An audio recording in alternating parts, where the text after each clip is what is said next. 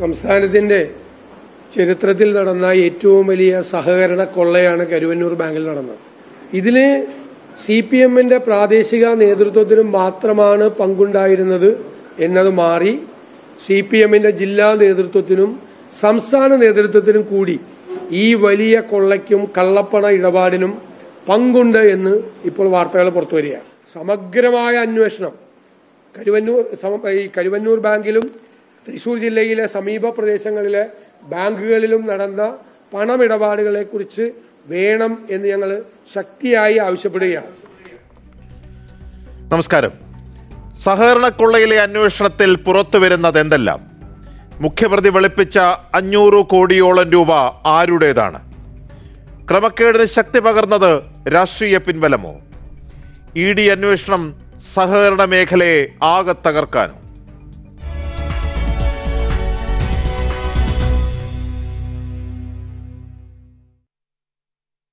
News അവറിൽ DYFI നേതാവ് advocate K S Arun Kumar Congress നേതാവ് അനിൽ അക്കര സാമ്പത്തിക വിദഗ്ധ ഡോക്ടർ മേരി ജോർജ് എന്നിവരാണ് ചേരുന്നത്. ആദ്യം ഡോക്ടർ മേരി ജോർജ് സഹകരണ ബാങ്കുകൾ നടക്കുന്ന ക്രമക്കേടിന്റെ ഒരുപാട് കഥകൾ നമ്മൾ ഇതുവരെ കേട്ടിട്ടുണ്ട്. പക്ഷേ കേരളം ഇന്നോളം കണ്ടിട്ടുള്ളതിൽ വെച്ച് ഏറ്റവും വലിയൊരു സഹകരണ കൊള്ളയുടെ വിശദാംശങ്ങളാണ് പുറത്തു വരുന്നത് ബിനാമി നിക്ഷേപങ്ങൾ അഞ്ഞൂറ് കോടിയിൽ പരം രൂപ സഹകരണ ബാങ്കുകളെ ഉപയോഗിച്ചുകൊണ്ട് വെളുപ്പിക്കാൻ ശ്രമം നടന്നു. കോടിക്കണക്കിന് രൂപ നിക്ഷേപകർക്ക് നഷ്ടമായി. അന്വേഷണത്തിൽ ഓരോ ദിവസവും പുറത്തു വരുന്നത് ഞെട്ടിക്കുന്ന വിവരങ്ങളാണ്. ഇത് സഹകരണ ബാങ്കിൽ നടന്ന ഒരു സാധാരണ ക്രമക്കേടാണോ? അതിനപ്പുറത്തേക്കുള്ള ഗൗരവതരമായ ചില വിവരങ്ങളിലേക്ക് വിരൽ ചൂണ്ടുകയാണോ. സുരേഷ് ഇന്ന് മാധ്യമങ്ങൾ റിപ്പോർട്ട് ചെയ്തതുപോലെ ഇത് ഒരു പക്ഷേ മഞ്ഞുമലയുടെ ഒരഗ്രം മാത്രമാകാനാണ് സാധ്യത. കാരണം കേരള ബാങ്കിന്റെ വൈസ് ചെയർമാൻ ആയിരിക്കുന്ന ആൾ പോലും ഈ ഇപ്പോൾ കണ്ടുപിടിച്ച് പുറത്തു വന്നിരിക്കുന്ന കള്ളപ്പണം വിളി കേസിന്റെയും അതുപോലെ തന്നെ കള്ളപ്പണം വെളുപ്പിക്കൽ കേസിന്റെയും വായ്പാ തിരിമറി കേസിന്റെയും ഭാഗമായിട്ടുണ്ട്. അതുകൊണ്ട് തന്നെ നമുക്ക് സംശയിക്കാം ഇതിൽ ആ മഞ്ഞുമലയുടെ അഗ്രം ചെന്ന് നിൽക്കുന്നത് അല്ലെങ്കിൽ ആ മഞ്ഞുമല മുഴുവനുമായിട്ടൊരു ഫോം ചെയ്യപ്പെടുന്നത് ഒരു പക്ഷേ കേരള ബാങ്ക് തന്നെ ആയിരിക്കുമോ എന്ന് പോലും സംശയിക്കേണ്ടിയിരിക്കുന്നു. അതായത് നാൽപ്പത്തഞ്ചോളം സഹകരണ ബാങ്കുകളാണ് ഇപ്പോൾ തന്നെ സംശയത്തിന്റെ നിഴലിൽ ഉള്ളത്. അത് മാത്രവുമല്ല എനിക്ക് തോന്നുന്നത് ഒരു പക്ഷേ സുരേഷ് ഓർക്കുന്നുണ്ടാകും നമ്മുടെ ഡീമോണിറ്റൈസേഷൻ അതായത് നോട്ട് നിരോധനം വന്ന അന്ന് അടുത്ത ദിവസങ്ങളിലൊക്കെ കേരളത്തിലെ സഹകരണ ബാങ്കുകളിലേക്ക് കേരളത്തിൽ മാത്രമല്ല കേരളത്തിന് വെളിയിലും സഹകരണ ബാങ്കുകൾ വഴി കള്ളപ്പണം വെളുപ്പിക്കാനായിട്ട് വളരെ എളുപ്പമാണ്. കാരണം പലപ്പോഴും കെ വൈ സി പോലും നിർബന്ധമില്ല സഹകരണ ബാങ്കുകളിൽ. അതിന് ചില കാരണങ്ങളുമുണ്ട് അത് ഞാൻ പിന്നെ പറയാം. അപ്പം അങ്ങനെ കെ വൈ സി പോലും നിർബന്ധമില്ലാത്ത സഹകരണ ബാങ്കുകൾ വഴി ഇന്ത്യയിൽ മുഴുവനും പ്രത്യേകിച്ച് കേരളത്തിൽ കാരണം കേരളത്തിൽ നിന്നാണ് ഏറ്റവും കൂടുതൽ പ്രവാസികൾ കേരളത്തിൽ നിന്നാണ് പുറത്തു പോയിട്ടുള്ളത്. അപ്പോൾ അങ്ങനെയുള്ള കേരളത്തിൽ ധാരാളം പ്രവാസികൾ ഉള്ളതുകൊണ്ട് തന്നെ കുഴൽ പണത്തിന് വരു വരവിനുള്ള സാധ്യത വളരെ കൂടുതലാണ്. അതുപോലെ തന്നെ കള്ളപ്പണമായിട്ട് സ്വരൂപിച്ചു കൂട്ടിയിരുന്ന പണത്തിന്റെ സാ അനന്ത സാധ്യതകളും കേരളത്തിൽ ഉണ്ടായിരുന്നു. അപ്പോൾ ആദ്യ ദിവസങ്ങളിൽ നോട്ട് നിരോധനത്തിന്റെ ആദ്യ ദിവസങ്ങളിൽ ഇത്ര എമൗണ്ട് ബാങ്കുകളിൽ കൊടുത്ത് അത് പിന്നെ മാറ്റിയെടുക്കാം എന്ന ഒരു അതായത് കള്ളപ്പണം അല്ലാത്ത രീതിയിൽ വെള്ളപ്പണമായിട്ട് തന്നെ ബാങ്കുകളിൽ കൊടുക്കാം എന്നുണ്ടായിരുന്നു. ആ സമയത്ത് കുമിഞ്ഞുകൂടിയ രീതിയിൽ ബാങ്കുകളിലേക്ക് വന്ന സഹകരണ ബാങ്കുകളിലേക്ക് വന്ന പണം കേരളത്തെ ഒരു നോട്ടപ്പുള്ളിയാക്കി റിസർവ് ബാങ്ക് ഓഫ് ഇന്ത്യയുടെ മുൻപിൽ വച്ചിരുന്നു. അങ്ങനെ തന്നെയാണ് ഏതാനും ദിവസം കഴിഞ്ഞപ്പോൾ തന്നെ സഹകരണ ബാങ്കുകൾ വഴി വെള്ള പണം പിന്നെ ബാങ്കിലേക്ക് കൈമാറുന്ന സമ്പ്രദായം വേണ്ട പാടെ വേണ്ട എന്ന് തീരുമാനിക്കുന്നു. അപ്പോൾ എന്ത് ചെയ്യും? ഈ കള്ളപ്പണം മുഴുവൻ കോപ്പറേറ്റീവ്സ് വഴി വെള്ളപ്പണമാക്കി മാറ്റാം എന്ന് കരുതിയിരുന്ന മഹാരഥന്മാർക്കാർക്കും അതിന് സാധ്യതയില്ല എന്ന ഒരവസ്ഥ വന്നു. അങ്ങനെ ഒരവസ്ഥ വന്നതോടുകൂടി ആ പണം പല തരത്തിലും അപ്പോൾ തന്നെ നമുക്കറിയാം കേരളത്തെ തന്നെ വിവിധ മേഖലകളിൽ വിവിധ രീതികളിൽ കള്ളപ്പണം വെളുപ്പിക്കലുണ്ടായി ആ കാലഘട്ടത്തിൽ. പക്ഷേ അതിനുപോലും കഴിയാതെ വന്നിരുന്ന പണം കൂടി കൂട്ടി വെച്ചിരുന്നതും ഇപ്പോൾ ഈ കരുവണ്ണൂർ പോലെയുള്ള അതായത് ഈ നാൽപ്പത്തഞ്ച് ബാങ്കുകൾ മാത്രമല്ല കേരളത്തിൽ അങ്ങോളം ഇങ്ങോളം പുറത്തു വരാത്ത കഥകളും നാം ഇനി കേൾക്കാനിരിക്കുന്നതേ ഉണ്ടായിരിക്കുള്ളൂ. ഇ ഡി ഇപ്പോൾ തുടങ്ങിയിട്ടല്ലേ? അതായത് രണ്ടായിരത്തി ഇരുപത്തിരണ്ടിലാണ് ഇ ഡി രംഗപ്രവേശം ചെയ്യുന്നത്. രണ്ടായിരത്തി ഇരുപത്തിരണ്ട് ഓഗസ്റ്റിലാണ് ഇ ഡി കരുവന്നൂർ ബാങ്കിൽ നിന്ന് ആദ്യത്തെ കള്ളപ്പണം വെളുപ്പിക്കലും അതുപോലെ വായ്പാ തിരിമറിയുമായിട്ടുള്ള കഥകളൊക്കെ ചെകഞ്ഞ് പുറത്തു കൊണ്ടുവരുന്നത്. അപ്പോൾ അതിനുശേഷം ഇ ഡി അവിടുത്തെ അന്വേഷണം പൂർത്തിയാക്കി കഴിഞ്ഞ് എങ്ങോട്ടൊക്കെയാണ് അതിന്റെ എന്താ പറയുക ഈ ഒക്ടോപ്പസിന്റെ കാലുകൾ പോലെ അതിന്റെ കാലുകൾ നീണ്ടു പോകുന്നത് എങ്ങോട്ടാണ് എന്നുള്ളത് നമ്മൾ നോക്കിയിരുന്ന് കാണേണ്ടതാണ്. അതുകൊണ്ടാണ് ഞാൻ പറഞ്ഞത് ഇതൊരു പക്ഷേ മഞ്ഞുമലയുടെ ഒരു അഗ്രം മാത്രമായിരിക്കും. ബാക്കി ഭാഗം എവിടെ കിടക്കുന്നു എവിടെ വരെ ചെല്ലുന്നു എന്ന് നാം നോക്കിയിരുന്ന് കാണേണ്ടതാണ്. സത്യത്തിൽ ഇത് സങ്കടകരമായ അവസ്ഥയാണ്. കാരണം ആയിരത്തി തൊള്ളായിരത്തി നാലിലാണ് ഇന്ത്യയിൽ സഹകരണ പ്രസ്ഥാനം തുടങ്ങുന്നത്. എന്തിനായിരുന്നു സഹകരണ പ്രസ്ഥാനം തുടങ്ങിയത്? പാവപ്പെട്ട ജനങ്ങളുടെ കയ്യിലുള്ള ചെറിയ ചെറിയ തുകകൾ ഒന്നിച്ചു കൂട്ടുക ഒപ്പിയെടുക്കുക അത് പൂൾ ചെയ്യുക ഒന്നിച്ചാക്കുക. അതിൽ നിന്ന് ആവശ്യക്കാർക്ക് നാട്ടുംപുറങ്ങളിലും ചെറിയ ചെറിയ ബിസിനസ് ചെയ്യുന്നവർക്കും ചെറിയ സംരംഭങ്ങൾ നടത്തുന്നവർക്കും ആവശ്യമായ വായ്പ നൽകുക. അതും മിതമായ പലിശയ്ക്ക്. അങ്ങനെയുള്ള ശുദ്ധമായ ലക്ഷ്യങ്ങളോടുകൂടി വന്ന പണമാണ് ഇതുപോലെ ഈ കരുവന്നൂർ പോലെയുള്ള ബാങ്കുകളിൽ പെട്ടത് അത് മാത്രവുമല്ല കേരളത്തെ സഹകരണ പ്രസ്ഥാനത്തെ വിശ്വസിച്ച സാധാരണക്കാർ റിട്ടയർ ചെയ്യുമ്പോൾ സർക്കാർ ഉദ്യോഗസ്ഥരാകട്ടെ അല്ലെങ്കിൽ മറ്റ് മേഖലകളിൽ നിന്നുള്ളവരാകട്ടെ റിട്ടയർ ചെയ്ത് കിട്ടുന്ന ബെനിഫിറ്റ്സ് മുഴുവനും സേഫായിട്ട് വെക്കാമല്ലോ എന്ന് കരുതി കൊണ്ടുവന്ന് ഇങ്ങനെയുള്ള കോപ്പറേറ്റീവ് ബാങ്കുകളിൽ നിക്ഷേപിക്കുന്നു. ആ എന്ന് മാത്രമല്ല ഡോക്ടർ മേരി ജോർജ് ഒന്ന് മുതിർന്ന പൗരന്മാർക്ക് പലിശ കൂടുതൽ കിട്ടും അതിലൊക്കെ ഉപരിയായി ഈ സഹകരണ ബാങ്കുകളെ നിയന്ത്രിക്കുന്നത് നമുക്ക് ഏറ്റവും അടുപ്പമുള്ള ഏറ്റവും അടുത്തുള്ള രാഷ്ട്രീയ മേഖലയിൽ അടക്കം നിൽക്കുന്ന നമുക്ക് നേരിട്ടറിയാവുന്ന ആൾക്കാരാണ് തിരഞ്ഞെടുപ്പിലൂടെ ജയിച്ചു വരുന്നത്. അപ്പോൾ ആ ഭരണസമിതിയിലുള്ള വിശ്വാസവും ഇവിടെ പണം നിക്ഷേപിക്കുന്ന ഒരു പ്രധാനപ്പെട്ട കാരണമാണ്. അങ്ങനെയാണ് വഞ്ചിതരായി എത്രയോ പേർ ക്യാൻസർ രോഗി അതേപോലെ തന്നെ റിട്ടയർമെന്റ് ബെനിഫിറ്റ്സ് ഇട്ടവർ ചികിത്സയ്ക്ക് പണമില്ലാത്തവർ അവരൊക്കെ ഇങ്ങനെ ഒരു സംഘം കൊള്ള നടത്തി മറ്റുള്ളവരുടെ പണമെടുത്ത് ധൂർത്തടിക്കുകയും കള്ളപ്പണം വെളുപ്പിക്കുകയും ഒക്കെ ചെയ്ത് അഴിമതി നടത്തി ധൂർത്തടിച്ചതിന്റെ പേരിൽ അവരൊക്കെ ആത്മഹത്യ ചെയ്യുകയോ അല്ലെങ്കിൽ അത്തരം അവസ്ഥയിലേക്ക് നീങ്ങുകയോ ചെയ്യേണ്ടി വന്നത്. ആ ബാങ്കിലെ ഭരണസമിതി അടക്കം പറയുന്നു ഞങ്ങൾ പോലും അറിയാതെ ഞങ്ങളെ മറയാക്കിക്കൊണ്ട് ഒരു വലിയ സംഘമാണ് ഈ പ്രവൃത്തിയെല്ലാം നടത്തിയതെന്ന്. ഇപ്പോൾ ഇ ഡിയുടെ പരിശോധനയിൽ ഇ ഡി അല്പം മുമ്പ് ആ പരിശോധനയുടെ വിശദാംശങ്ങൾ ട്വീറ്റ് ചെയ്തിട്ടുണ്ട്. ഇ ഡി പറയുന്ന E D has conducted search and survey operations on eighty nine two thousand twenty three under P M L A two thousand two act across the state of Kerala in the case of siphoning of bank uh, funds uh, uh, fund of more than rupees 150 crore from Karivanur Service Cooperative Bank. അതിലെ ഓരോരുത്തരുടെയും സ്ഥലത്ത് നിന്ന് ഈ ഒൻപത് സ്ഥലങ്ങളിൽ നടത്തിയ റെയ്ഡും അവിടെ നിന്നൊക്കെ പിടിച്ചെടുത്തിട്ടുള്ള രേഖകൾ എത്ര കോടി രൂപയുടെ ബിനാമി ഡോക്യുമെന്റ് വിശദാംശങ്ങൾ? ഇതടക്കം വളരെ വിശദമായൊരു വാർത്താക്കുറിപ്പ് തന്നെ എക്സ് പ്ലാറ്റ്ഫോമിൽ ഇപ്പോൾ ഇ ഡി പുറപ്പെടുവിച്ചിട്ടുണ്ട്. ഈ കേസിൽ ഏറ്റവും നിർണായകമായ ഒരു ഘട്ടത്തിലേക്കാണ് കടക്കുന്നത് ശ്രീ അരുൺകുമാർ. എ സി മൊയ്തീൻ ഇന്ന് ഇ ഡിക്ക് മുമ്പിൽ ഹാജരാകേണ്ടതായിരുന്നു. അദ്ദേഹം എം എൽ എമാരുടെ പരിശീലന പരിപാടിയിൽ പങ്കെടുക്കാൻ വേണ്ടി തിരുവനന്തപുരത്തേക്ക് തിരിച്ചു. ശരിക്കും അറസ്റ്റ് ഭയക്കുന്നുണ്ടോ എ സി മൊയ്തീൻ?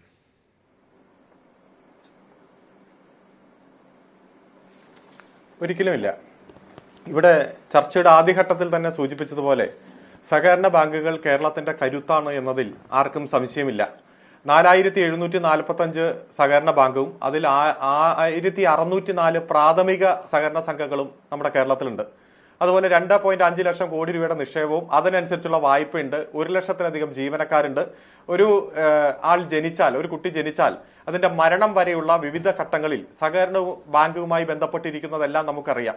സഹകരണ ബാങ്കിന്റെ മെമ്പർഷിപ്പ് ഒക്കെ എടുത്ത് പരിശോധിച്ചാൽ കേരളത്തിന്റെ ജനസംഖ്യയേക്കാൾ കൂടുതലാണ്. കാരണം പതിനെട്ട് വയസ്സ് കഴിഞ്ഞവരുടെ ജനസംഖ്യ എടുത്ത് നോക്കിയാൽ. അപ്പൊ അത്തരത്തിലുള്ള സഹകരണ ബാങ്കുകളെ തകർക്കാൻ ഏതെങ്കിലും തരത്തിലുള്ള ശ്രമം നടന്നാൽ അതിന് കൂട്ടുനിൽക്കുന്ന അതിനെ സംരക്ഷിക്കുന്ന ഒരു നിലപാടും സി പി എമ്മിന്റെ ഭാഗത്തുനിന്നുണ്ടാവില്ല. ഇടതുപക്ഷ ജനാധിപത്യ മുന്നണി ഗവൺമെന്റിന്റെ ഭാഗത്തുനിന്നുണ്ടാവില്ല. ഇപ്പൊ പുൽപ്പള്ളിയിൽ ബാങ്കുമായി ബന്ധപ്പെട്ടുകൊണ്ട് കോടിക്കണക്കിന് രൂപയുടെ കുംഭകോണം വന്നു. അതിൽ ചിലർ ആത്മഹത്യ ചെയ്യുന്ന പേരെഴുതി വെച്ച് ആത്മഹത്യ ചെയ്യുന്ന സാഹചര്യം ഉണ്ടായി. മുഗു ബാങ്കുമായി ബന്ധപ്പെട്ടുകൊണ്ട് വന്നു. ഇപ്പൊ കരുവണ്ണൂർ ബാങ്കുമായി ബന്ധപ്പെട്ടുകൊണ്ട് വന്നിട്ടുണ്ട്.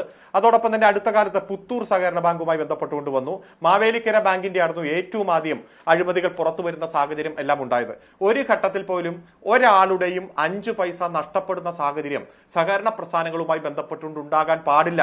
കാരണം അത്രയധികം കഷ്ടപ്പെട്ട് തന്നെയാണ് ആളുകൾ സഹകരണ ബാങ്കിൽ പണം നിക്ഷേപിക്കുന്നത്. അവരുടെ പണത്തിനൊരു സുരക്ഷിതത്വമുണ്ട്. മെച്ചപ്പെട്ട പലിശ കിട്ടും. അതുപോലെ ഈ കേരളത്തിന്റെ വികസന പ്രക്രിയയിൽ അതൊരു സംഭാവനയായി മാറട്ടെ എന്ന് വിചാരിച്ചുകൊണ്ട് തന്നെയാണ് ആളുകൾ നിക്ഷേപം നടത്തുന്നത്. ഇപ്പോൾ കരുവണ്ണൂർ ബാങ്കുമായി ബന്ധപ്പെട്ടുകൊണ്ട് പരാതി വന്നു. കേസ് അന്വേഷണം കേരളത്തിന്റെ പോലീസ് ഏറ്റെടുത്തു. അതിനുശേഷം രണ്ടായിരത്തി ഇരുപത്തിയൊന്നിൽ തന്നെ അത് ക്രൈംബ്രാഞ്ചിനെ ഏൽപ്പിച്ചു. ക്രൈംബ്രാഞ്ച് ഏകദേശം ഇരുപത്തിയാറ് പ്രതികൾ ഉള്ള പതിനെട്ടോളം കേസുകൾ രജിസ്റ്റർ ചെയ്തു. ആ കേസ് മുന്നോട്ട് പോകുമ്പോൾ തന്നെ ഇ ഡിയും അതിൽ ഇടപെടുന്നു. രണ്ടായിരത്തി ഇരുപത്തിരണ്ടോടുകൂടി ഇ ഡി അതിൽ കേസ് രജിസ്റ്റർ ചെയ്ത് തന്നെ അന്വേഷിച്ചു. ക്രൈംബ്രാഞ്ച് അന്വേഷണം ഏറ്റെടുത്തപ്പോൾ തന്നെ ഇ ഡിയും സമാന്തരമായിട്ടുള്ള നിരീക്ഷണങ്ങൾ ആരംഭിച്ചിരുന്നു രണ്ടായിരത്തി ഇരുപത്തൊന്ന് ജൂലൈ ഓഗസ്റ്റ് മാസത്തിൽ തന്നെ. അതിനുശേഷം ഇതിൽ കള്ളപ്പണം വെളുപ്പിക്കുന്നത് ഉണ്ട് എന്ന് ബോധ്യപ്പെട്ട് ഇ ഡി ആ പ്രത്യേക കേസ് രജിസ്റ്റർ ചെയ്ത് പ്രതിപട്ടിക ഉണ്ടാക്കുന്ന സാഹചര്യം എല്ലാം മുന്നോട്ട് പോവുകയാണ്. ഇവിടെ ക്രൈംബ്രാഞ്ചിന്റെ അന്വേഷണം നിലവിൽ ശക്തമായി തുടരുകയാണ്. ഒറ്റ കുഴപ്പം നമ്മുടെ വിഷയം അതല്ല. 2022 ജൂലൈ മാസത്തിൽ.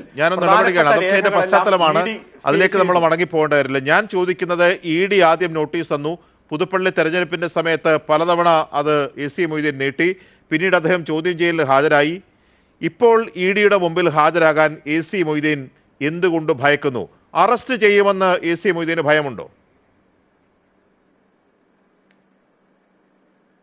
അല്ല അങ്ങ് എന്തുകൊണ്ടാണ് സഖാവ് എ സി മൊയ്തീൻ ഹാജരാകാത്തത് എന്നതിനെ കുറിച്ച് അങ്ങ് തന്നെ പറഞ്ഞല്ലോ. നിയമസഭയുടെ പ്രത്യേക ക്ലാസുമായി ബന്ധപ്പെട്ടുകൊണ്ട് നേരത്തെ നിശ്ചയിച്ച പരിപാടിയുണ്ട്. അതുമായി ബന്ധപ്പെട്ടുകൊണ്ട് രണ്ട് ദിവസം ഉള്ള ക്ലാസിന്റെ രണ്ട് ദിവസത്തെ അവധിയാണ് അദ്ദേഹം ആവശ്യപ്പെട്ടത്. അദ്ദേഹം അദ്ദേഹത്തിന്റെ വീട്ടിൽ സെർച്ച് നടത്തി മണിക്കൂറുകൾ നീണ്ടുനിന്ന സെർച്ച് നടത്തി.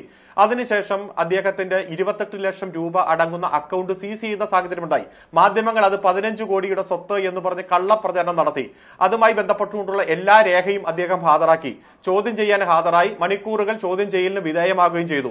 ശ്രീ എ സി മൊയ്തീൻ തന്നെ പറഞ്ഞിട്ടുണ്ട് ഏത് തരത്തിലുള്ള അന്വേഷണത്തെ നേരിടാനും ഞാൻ തയ്യാറാണ്. ഏത് തരത്തിലുള്ള അന്വേഷണവുമായി സഹകരിക്കാനും ഞാൻ തയ്യാറാണ്. എന്റെ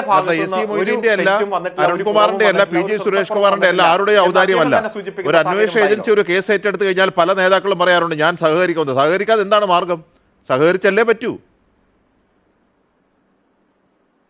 അല്ല അല്ല സഹകരിച്ചു തന്നെയല്ലേ പോകുന്നത്? അതിൽ ഏതെങ്കിലും തരത്തിൽ ഭയപ്പാടോ മറ്റു തരത്തിലുള്ള വിഷമമോ ഒന്നും രേഖപ്പെടുത്തുന്ന സാഹചര്യം ഞാൻ ഈ ചോദ്യം ചോദിക്കാൻ ഒരു കാരണമുണ്ട്. സഹകരിച്ചു. താങ്കൾക്ക് തന്നെ അറിയാവുന്ന ഒരു ശനിയാഴ്ച സി പി എം ഒരു രാഷ്ട്രീയ വിശദീകരണ യോഗം ചേർന്നിരുന്നു. അതിൽ എ സി മൊയ്തീൻ അവിടെ നടത്തിയ ഒരു പ്രസംഗമുണ്ട്. ആ വാചകം കേട്ടുകൊണ്ടാണ് ഞാൻ ആവർത്തി ചോദിച്ചത് അതൊന്ന് കേൾക്കാം. ജില്ലയിലെ പൊതുപ്രസ്ഥാനത്തിനെ കരിവാരിത്തേക്കാൻ നമ്മുടെ പ്രസ്ഥാനത്തിന് തകർക്കാൻ ആർ എസ് എസ് ശ്രമിക്കുന്നു. ആ ആർ എസ് എസിന്റെ കൂടെയാണ് തൃശൂർ ജില്ലയിലെ കോൺഗ്രസ് എന്ന് പറയേണ്ടി വന്നതിൽ എല്ലാ കോൺഗ്രസും അല്ല ഒരു വിഭാഗം കോൺഗ്രസ് എന്ന് പറയേണ്ടി വന്നതിൽ എനിക്ക് വിഷമമുണ്ട്. സർ സി പിയുടെ തീയുണ്ടകളോട് വിരിമാറ് കാണിച്ചു തന്ന പ്രസ്ഥാനത്തിന്റെ പിന്മുറക്കാരാണ് കമ്മ്യൂണിസ്റ്റുകാർ എന്ന് ഞങ്ങൾ വെറുതെ പറയുകയല്ല. എന്നിട്ട് ഈ ഓലപ്പാമ്പ് കാണിച്ച് പേടിക്കേണ്ട. നിങ്ങൾക്ക് മാക്സിമം ചെയ്യാൻ കഴിയുക. മൊയ്തീനെയോ മറ്റേ ആളുകളെയോ. കാരണം കൂടാതെ അറസ്റ്റ് ചെയ്ത് ജയിലിലാക്കല. അങ്ങനെ ജയിലിലാക്കിയതാൽ തളർന്നു പോകുന്നതോ തകർന്നു പോകുന്നതാണ് കമ്മ്യൂണിസ്റ്റ് പ്രസ്ഥാനം എന്ന് നിങ്ങൾ കരുതുന്നുണ്ടോ? ശ്രീ അരുൺകുമാർ ഞാനൊരു സംശയം ചോദിക്കട്ടെ. ഈ സർസിപിയുടെ തീയുണ്ടയും കരുവന്നൂരിൽ നിന്ന് മോഷ്ടിക്കപ്പെട്ടു പോയ നൂറ്റൻപത് കോടിയും തമ്മിൽ എന്തു ബന്ധമാണുള്ളത്? ആ കേസിൽ എ സി മൊയ്തീനെ വിളിച്ച് ചോദ്യം ചെയ്യാൻ വിളിച്ചു കഴിഞ്ഞാൽ അദ്ദേഹം അവിടെ പോവുക. അദ്ദേഹത്തിന് അറിയാവുന്ന വിവരങ്ങൾ പറഞ്ഞു കൊടുക്കുക. അപ്പോൾ അദ്ദേഹം മുൻകൂർ ജാമ്യം എടുക്കുകയാണ്. ഇനി അങ്ങനെ അകാരണമായി എന്നെ അറസ്റ്റ് ചെയ്ത് അകത്തിട്ട് കഴിഞ്ഞാലും ഈ പ്രസ്ഥാനം തകരില്ല എന്ന്. അപ്പോൾ എ സി മൊയ്തീനെ അറസ്റ്റ് ചെയ്തതിനെ ആശ്രയിച്ചാണോ ഈ പ്രസ്ഥാനത്തിന്റെ ഭാവി ഇരിക്കുന്നത്? എന്തിനാണ് അദ്ദേഹം പ്രസ്ഥാനത്തെ ഒരു ചട്ടക്കൂട് ഇപ്പോൾ തന്നെ ഒരുക്കുന്നത്? അല്ല ഞാനൊന്ന് തിരിച്ചു ചോദിച്ചോട്ടെ. ഇവിടെ ഈ രാജ്യത്ത് പ്രതിപക്ഷ പാർട്ടികളുടെ നേതാക്കന്മാരെ എത്ര തവണ കള്ളക്കേസിൽ കുടുക്കി ഇ ഡിയും സി ബി ഐയും എൻ ഐയും കസ്റ്റംസും കള്ളക്കേസിൽ കുടുക്കിയിട്ടുണ്ട്? രാഷ്ട്രീയ നിറവ്യത്യാസം മാറ്റിയപ്പോൾ ആ കേസ് അവസാനിപ്പിച്ചിട്ടുണ്ട്. ആസാമിലെ ഇപ്പോഴത്തെ മുഖ്യമന്ത്രി ഹേമന്ത ബിശ്വ ശർമ്മ കോൺഗ്രസിന്റെ നേതാവായിരുന്നപ്പോൾ ഇ ഡി ഏറ്റവും ശക്തമായി അന്വേഷിച്ചു. കോൺഗ്രസ് വിട്ട് അദ്ദേഹം ബി ജെ പി ആയി മാറിയപ്പോൾ ഒരു അന്വേഷണമില്ല മഹാരാഷ്ട്രയിലെ നേതാവായ നാരായണ റാണെ കോൺഗ്രസിന്റെ ഭാഗമായിരിക്കുമ്പോൾ എത്ര ശക്തമായ അന്വേഷണം സി ബി ഐ അന്വേഷണം ഇല്ല അതുപോലെ എത്രയോ സാഹചര്യങ്ങൾ ഞാൻ ചൂണ്ടിക്കാണിക്കാം. അല്ല ഞാൻ പറയാം ഞാൻ പറയാം. ഈ ഞാൻ പറയട്ടെ. ഈ കേരളത്തിൽ തന്നെ സ്വർണക്കള്ളക്കടത്തുമായി ബന്ധപ്പെട്ടുകൊണ്ട് ബിരിയാണി ചെമ്പുമായി ബന്ധപ്പെട്ടുകൊണ്ട് കൈതോരപ്പായയുമായി ബന്ധപ്പെട്ടുകൊണ്ട് അതുപോലെ ഈന്തപ്പഴവുമായി ബന്ധപ്പെട്ടുകൊണ്ട് ഖുറാനുമായി ബന്ധപ്പെട്ടുകൊണ്ട് എത്ര തവണ സി ബി ഐയും എൻ ഐയും കസ്റ്റംസും എല്ലാം? ചേർക്കാനോ അന്വേഷണം ഒരു തരി മുന്നോട്ട് കൊണ്ടുപോകാൻ കഴിഞ്ഞില്ലല്ലോ. ഞാൻ പറയട്ടെ ഞാൻ പറയട്ടെ ഇവിടെ അന്വേഷണം വരുന്നു. സെർച്ച് നടത്തുന്നു പൂർണമായി സഹകരിക്കുന്നു രേഖകൾ ഹാജരാക്കാൻ പറയുന്നു രേഖകൾ ഹാജരാക്കി കൊടുക്കുന്നു വീണ്ടും ചോദ്യം ചെയ്യുന്നു ആ ചോദ്യം ചെയ്ത് കൃത്യമായി അന്വേഷണത്തോട് സഹകരിക്കുമ്പോഴും കള്ളക്കേസ് രജിസ്റ്റർ ചെയ്ത് ഏതെങ്കിലും തരത്തിൽ ആ ഒരു വ്യക്തി നേതാക്കന്മാരെയും പ്രസ്ഥാനത്തെയും തകർക്കാൻ നോക്കിയാൽ ചങ്കുറ്റത്തോടെ ഞങ്ങൾ അതിനെ നേരിടുമെന്ന് പറയുന്നത് അദ്ദേഹം ഏറ്റവും സത്യസന്ധമാണ് ഏത് കള്ളക്കേസാണ് രജിസ്റ്റർ ചെയ്തിരിക്കുന്നത്? രാഷ്ട്രീയത്തിന്റെ പ്രതീകമാണ് മുഖ്യമന്ത്രി അടക്കമുള്ളവർക്കെതിരെ. ഇ ഡി എടുത്ത കേസിന്റെ പട്ടികയിലാണോ കരുവന്നൂരിലെ. നൂറ്റി അൻപത് കോടി രൂപയുടെ ഈ വെട്ടിപ്പ് സംബന്ധിച്ച് ഇ ഡി അന്വേഷിക്കുന്ന കേസ് നിങ്ങൾ പെടുത്തുന്നത്. ആണെങ്കിലാണെന്ന് പറയൂ. അല്ല ഞാൻ പറയാം. അങ്ങ് അങ്ങ് പ്രശ്നം ഉണ്ടാക്കല്ലേ? ഞാൻ പറയാലോ. ഇവിടെ ഇ ഡി ഏറ്റെടുത്തിരിക്കുന്ന ഇൻവെസ്റ്റിഗേഷനും ഏതെങ്കിലും തരത്തിൽ ഇവിടെ ക്രൈംബ്രാഞ്ച് നടത്തിക്കൊണ്ടിരിക്കുന്ന ഇൻവെസ്റ്റിഗേഷന്റെ ഇടയിൽ അല്ലെങ്കിൽ ആ കേസുമായി ബന്ധപ്പെട്ടുകൊണ്ട് കള്ളപ്പണം വെളുപ്പിച്ചിട്ടുണ്ടോ എന്നതാണ്. അതായത് ഇവിടെ രജിസ്റ്റർ ചെയ്യപ്പെട്ട ഐ പി സി ഒഫൻസും പ്രിവെൻഷൻ ഓഫ് കറപ്ഷൻ ഒഫൻസും എല്ലാം അന്വേഷിക്കുന്നത് ഇവിടെ ക്രൈംബ്രാഞ്ച് ആണ് അങ്ങനെയല്ലേ പറ്റൂ ശ്രീ അരുൺകുമാർ? ഇരിങ്ങാലക്കുട പോലീസ് ഒരു കേസ് രജിസ്റ്റർ ചെയ്തു. നിങ്ങൾ അത് നിങ്ങളത് രണ്ടായിരത്തി പത്തൊൻപതിൽ തന്നെ അത് ക്രൈംബ്രാഞ്ചിന് കൈമാറി. അപ്പോൾ താങ്കൾ പറഞ്ഞ പോലെ ഐ പി സി ഒഫൻസും ഫോർജറി അടക്കമുള്ള കാര്യങ്ങൾ ഉണ്ടെന്നുണ്ടെങ്കിൽ ഇതിനകത്ത് എന്താണ് പ്രിവെൻഷൻ ഓഫ് കറപ്ഷൻ ആക്ട് അടക്കമുള്ള കാര്യങ്ങൾ ഐ പി സി പ്രകാരം അടക്കമുള്ള കാര്യങ്ങൾ അത് കേരള പോലീസോ അല്ലെങ്കിൽ ക്രൈംബ്രാഞ്ച് അന്വേഷിക്കും.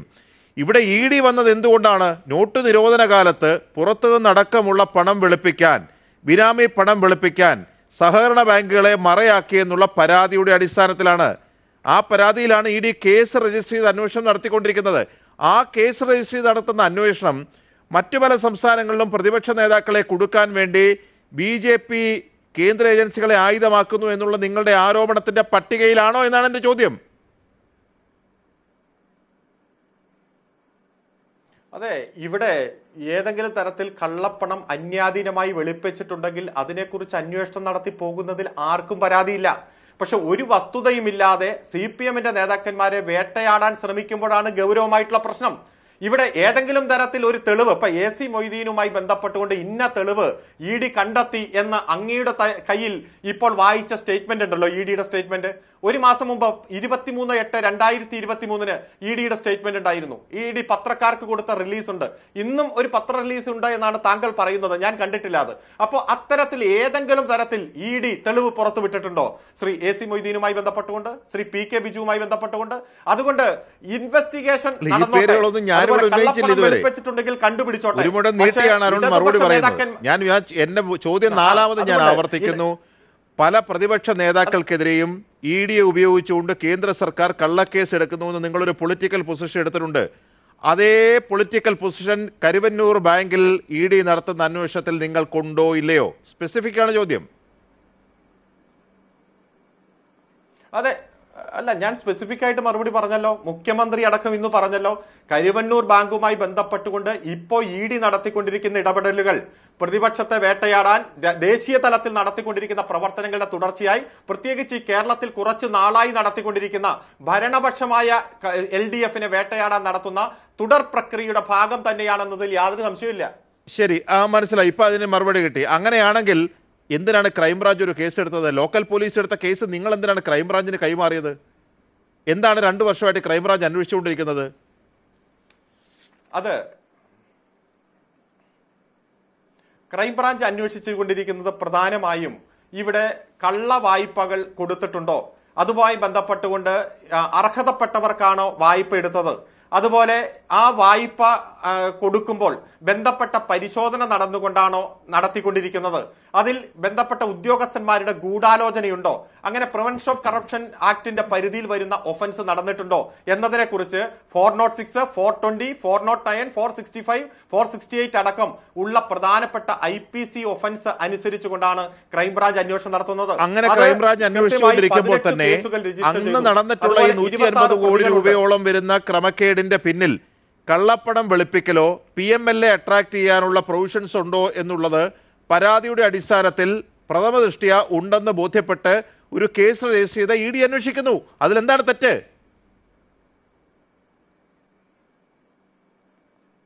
അതെ ഇ ഡി അന്വേഷിക്കുന്നതിൽ തെറ്റ് എന്ന് സൂചിപ്പിച്ചില്ല. മറിഞ്ഞ്. ഞാൻ സൂചിപ്പിച്ചല്ലോ. ഇവിടെ ഇടതുപക്ഷ നേതാക്കന്മാരെ ഈ കേസിലേക്ക് വലിച്ചിഴക്കാൻ വേണ്ടി യാതൊരു തെളിവുമില്ലാതെയുള്ള ഇടപെടലുകളെയാണ് ഞങ്ങൾ കുറ്റപ്പെടുത്തിയത്. ഇപ്പൊ എനിക്ക് മനസ്സിലായി. ഞാനൊന്ന്. വേണ്ടേ ഇത്തരം കാര്യങ്ങൾ വരുന്നതിൽ പ്രശ്നമില്ല. അന്വേഷിക്കുന്നതിൽ പ്രശ്നമില്ല. കേസ് രജിസ്റ്റർ ചെയ്തതിൽ പ്രശ്നമില്ല. പക്ഷേ നോട്ടീസ് മൊയ്തീനായപ്പോൾ അത് രാഷ്ട്രീയമാണ്. എം കെ കണ്ണന്റെ ബാങ്കിലേക്ക് റെയ്ഡ് വരുമ്പോൾ അത് രാഷ്ട്രീയമാണ്. പാർട്ടി കമ്മീഷന്റെ ഭാഗമായി ഈ വിഷയം നേരത്തെ പി കെ ബിജു അറിഞ്ഞിരുന്നു എന്ന കാര്യം ഞാൻ പരാമർശിക്കാതെ ഇവിടെ അരുൺകുമാർ മറുപടി നൽകി. അപ്പോൾ നേതാക്കളുടെ നേർക്ക് വന്നാൽ അത് രാഷ്ട്രീയമാണ്. ആ പൊളിറ്റിക്കൽ പൊസിഷനിലേക്ക് സി പി എം നീങ്ങുകയാണ്. എന്താണ് കോൺഗ്രസിന്റെ നിലപാട്?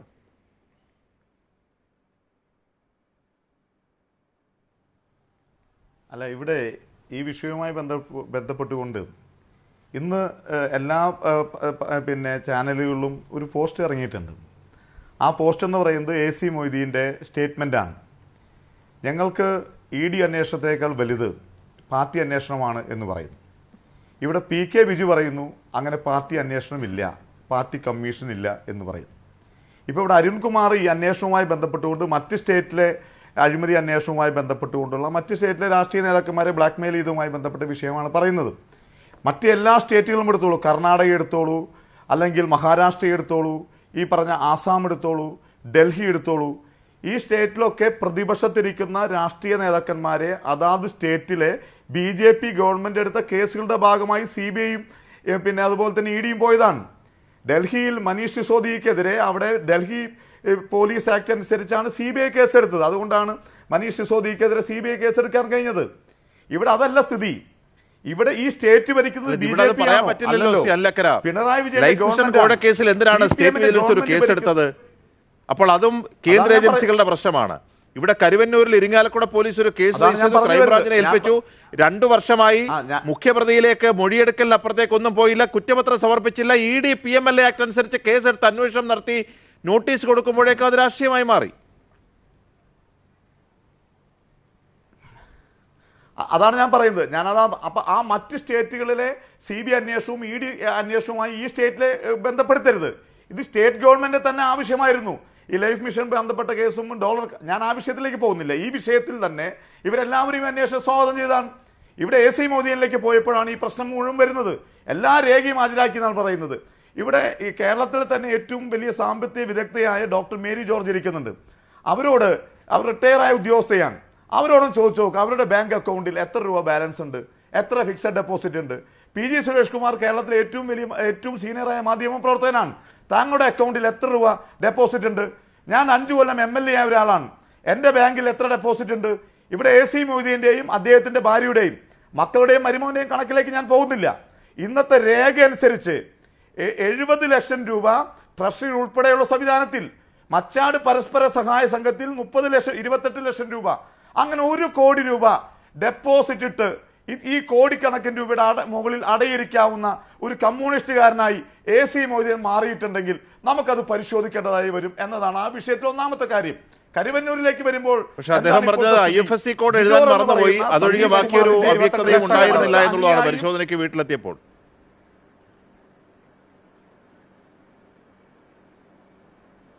അല്ല എന്റെ കയ്യിൽ പിന്നെ ഇ ഡി എല്ലാവരുടെ കണ്ടെത്തുന്ന കയ്യിലും 28 ലക്ഷം AC ഒരു മോദി കോടിയാക്കി. നിയമസഭാ ഇലക്ഷൻ കാലത്ത് മത്സരിച്ച അഫിഡവിറ്റ് ഉണ്ട്. അല്ലല്ല ഞാൻ പറഞ്ഞത് അരുൺകുമാർ താങ്കളുടെ സുന്ദരമായ മുഖവും സുന്ദരമായ സൗണ്ടും വികൃതമാക്കരുത്. ഞാൻ പറഞ്ഞ അവസാനിപ്പിക്കട്ടെ. ഇവിടെ ഞാൻ പറഞ്ഞത് എന്താ? ഈ അദ്ദേഹത്തിന്റെ അഫിഡവിറ്റിനകത്ത് എഴുപത് ലക്ഷം എന്നാണ് ഞാൻ പറഞ്ഞത്. ഇരുപത് ലക്ഷം ഇരുപത്തെട്ട് ലക്ഷം രൂപ മച്ചാട് പരസ്പര സഹായ സംഘത്തിലുണ്ടെന്നാണ് പറഞ്ഞത്. ആ വെറുതെ നമ്മൾ തമ്മിൽ വെറുതെ അങ്ങനത്തെ തർക്കത്തിന്റെ കാര്യമില്ലല്ലോ. അല്ല ഞാൻ നിങ്ങൾ നിങ്ങൾ അന്വേഷിക്കൂ. ഒരു കമ്മ്യൂണിസ്റ്റുകാരന്റെ കയ്യിൽ ഇത്ര ഡെപ്പോസിറ്റ് നമ്മൾ പരിശോധിക്കേണ്ട കാര്യമാണ് രണ്ടാ രണ്ടാമത്തെ കാര്യം ഇടപെടല്ലേ? രണ്ടാമത്തെ കാര്യം കരിവന്നൂരുമായി ബന്ധപ്പെട്ട വിഷയമാണ്. കരിവന്നൂരിൽ ഞങ്ങൾ ആരും അവിടെ ഭരിച്ചിട്ടില്ലല്ലോ. നൂറ് വർഷം ജി, വർഷമായി അത് clarify ചെയ്ത് പോകണം ഏതാണ്ട് മുപ്പത് വർഷമായി അവിടെ ഭരിക്കുന്നത് സി പി എം ആണ്. അല്ലക്കര ആദ്യത്തെ ഞങ്ങളല്ല ഭരിക്കുന്നത്. C C C C P M ആണ് ഭരിക്കുന്നത്. കരുവന്നൂർ സർവീസ് സഹകരണ ബാങ്ക് ഭരിക്കുന്നത് സി പി എം ആണ്.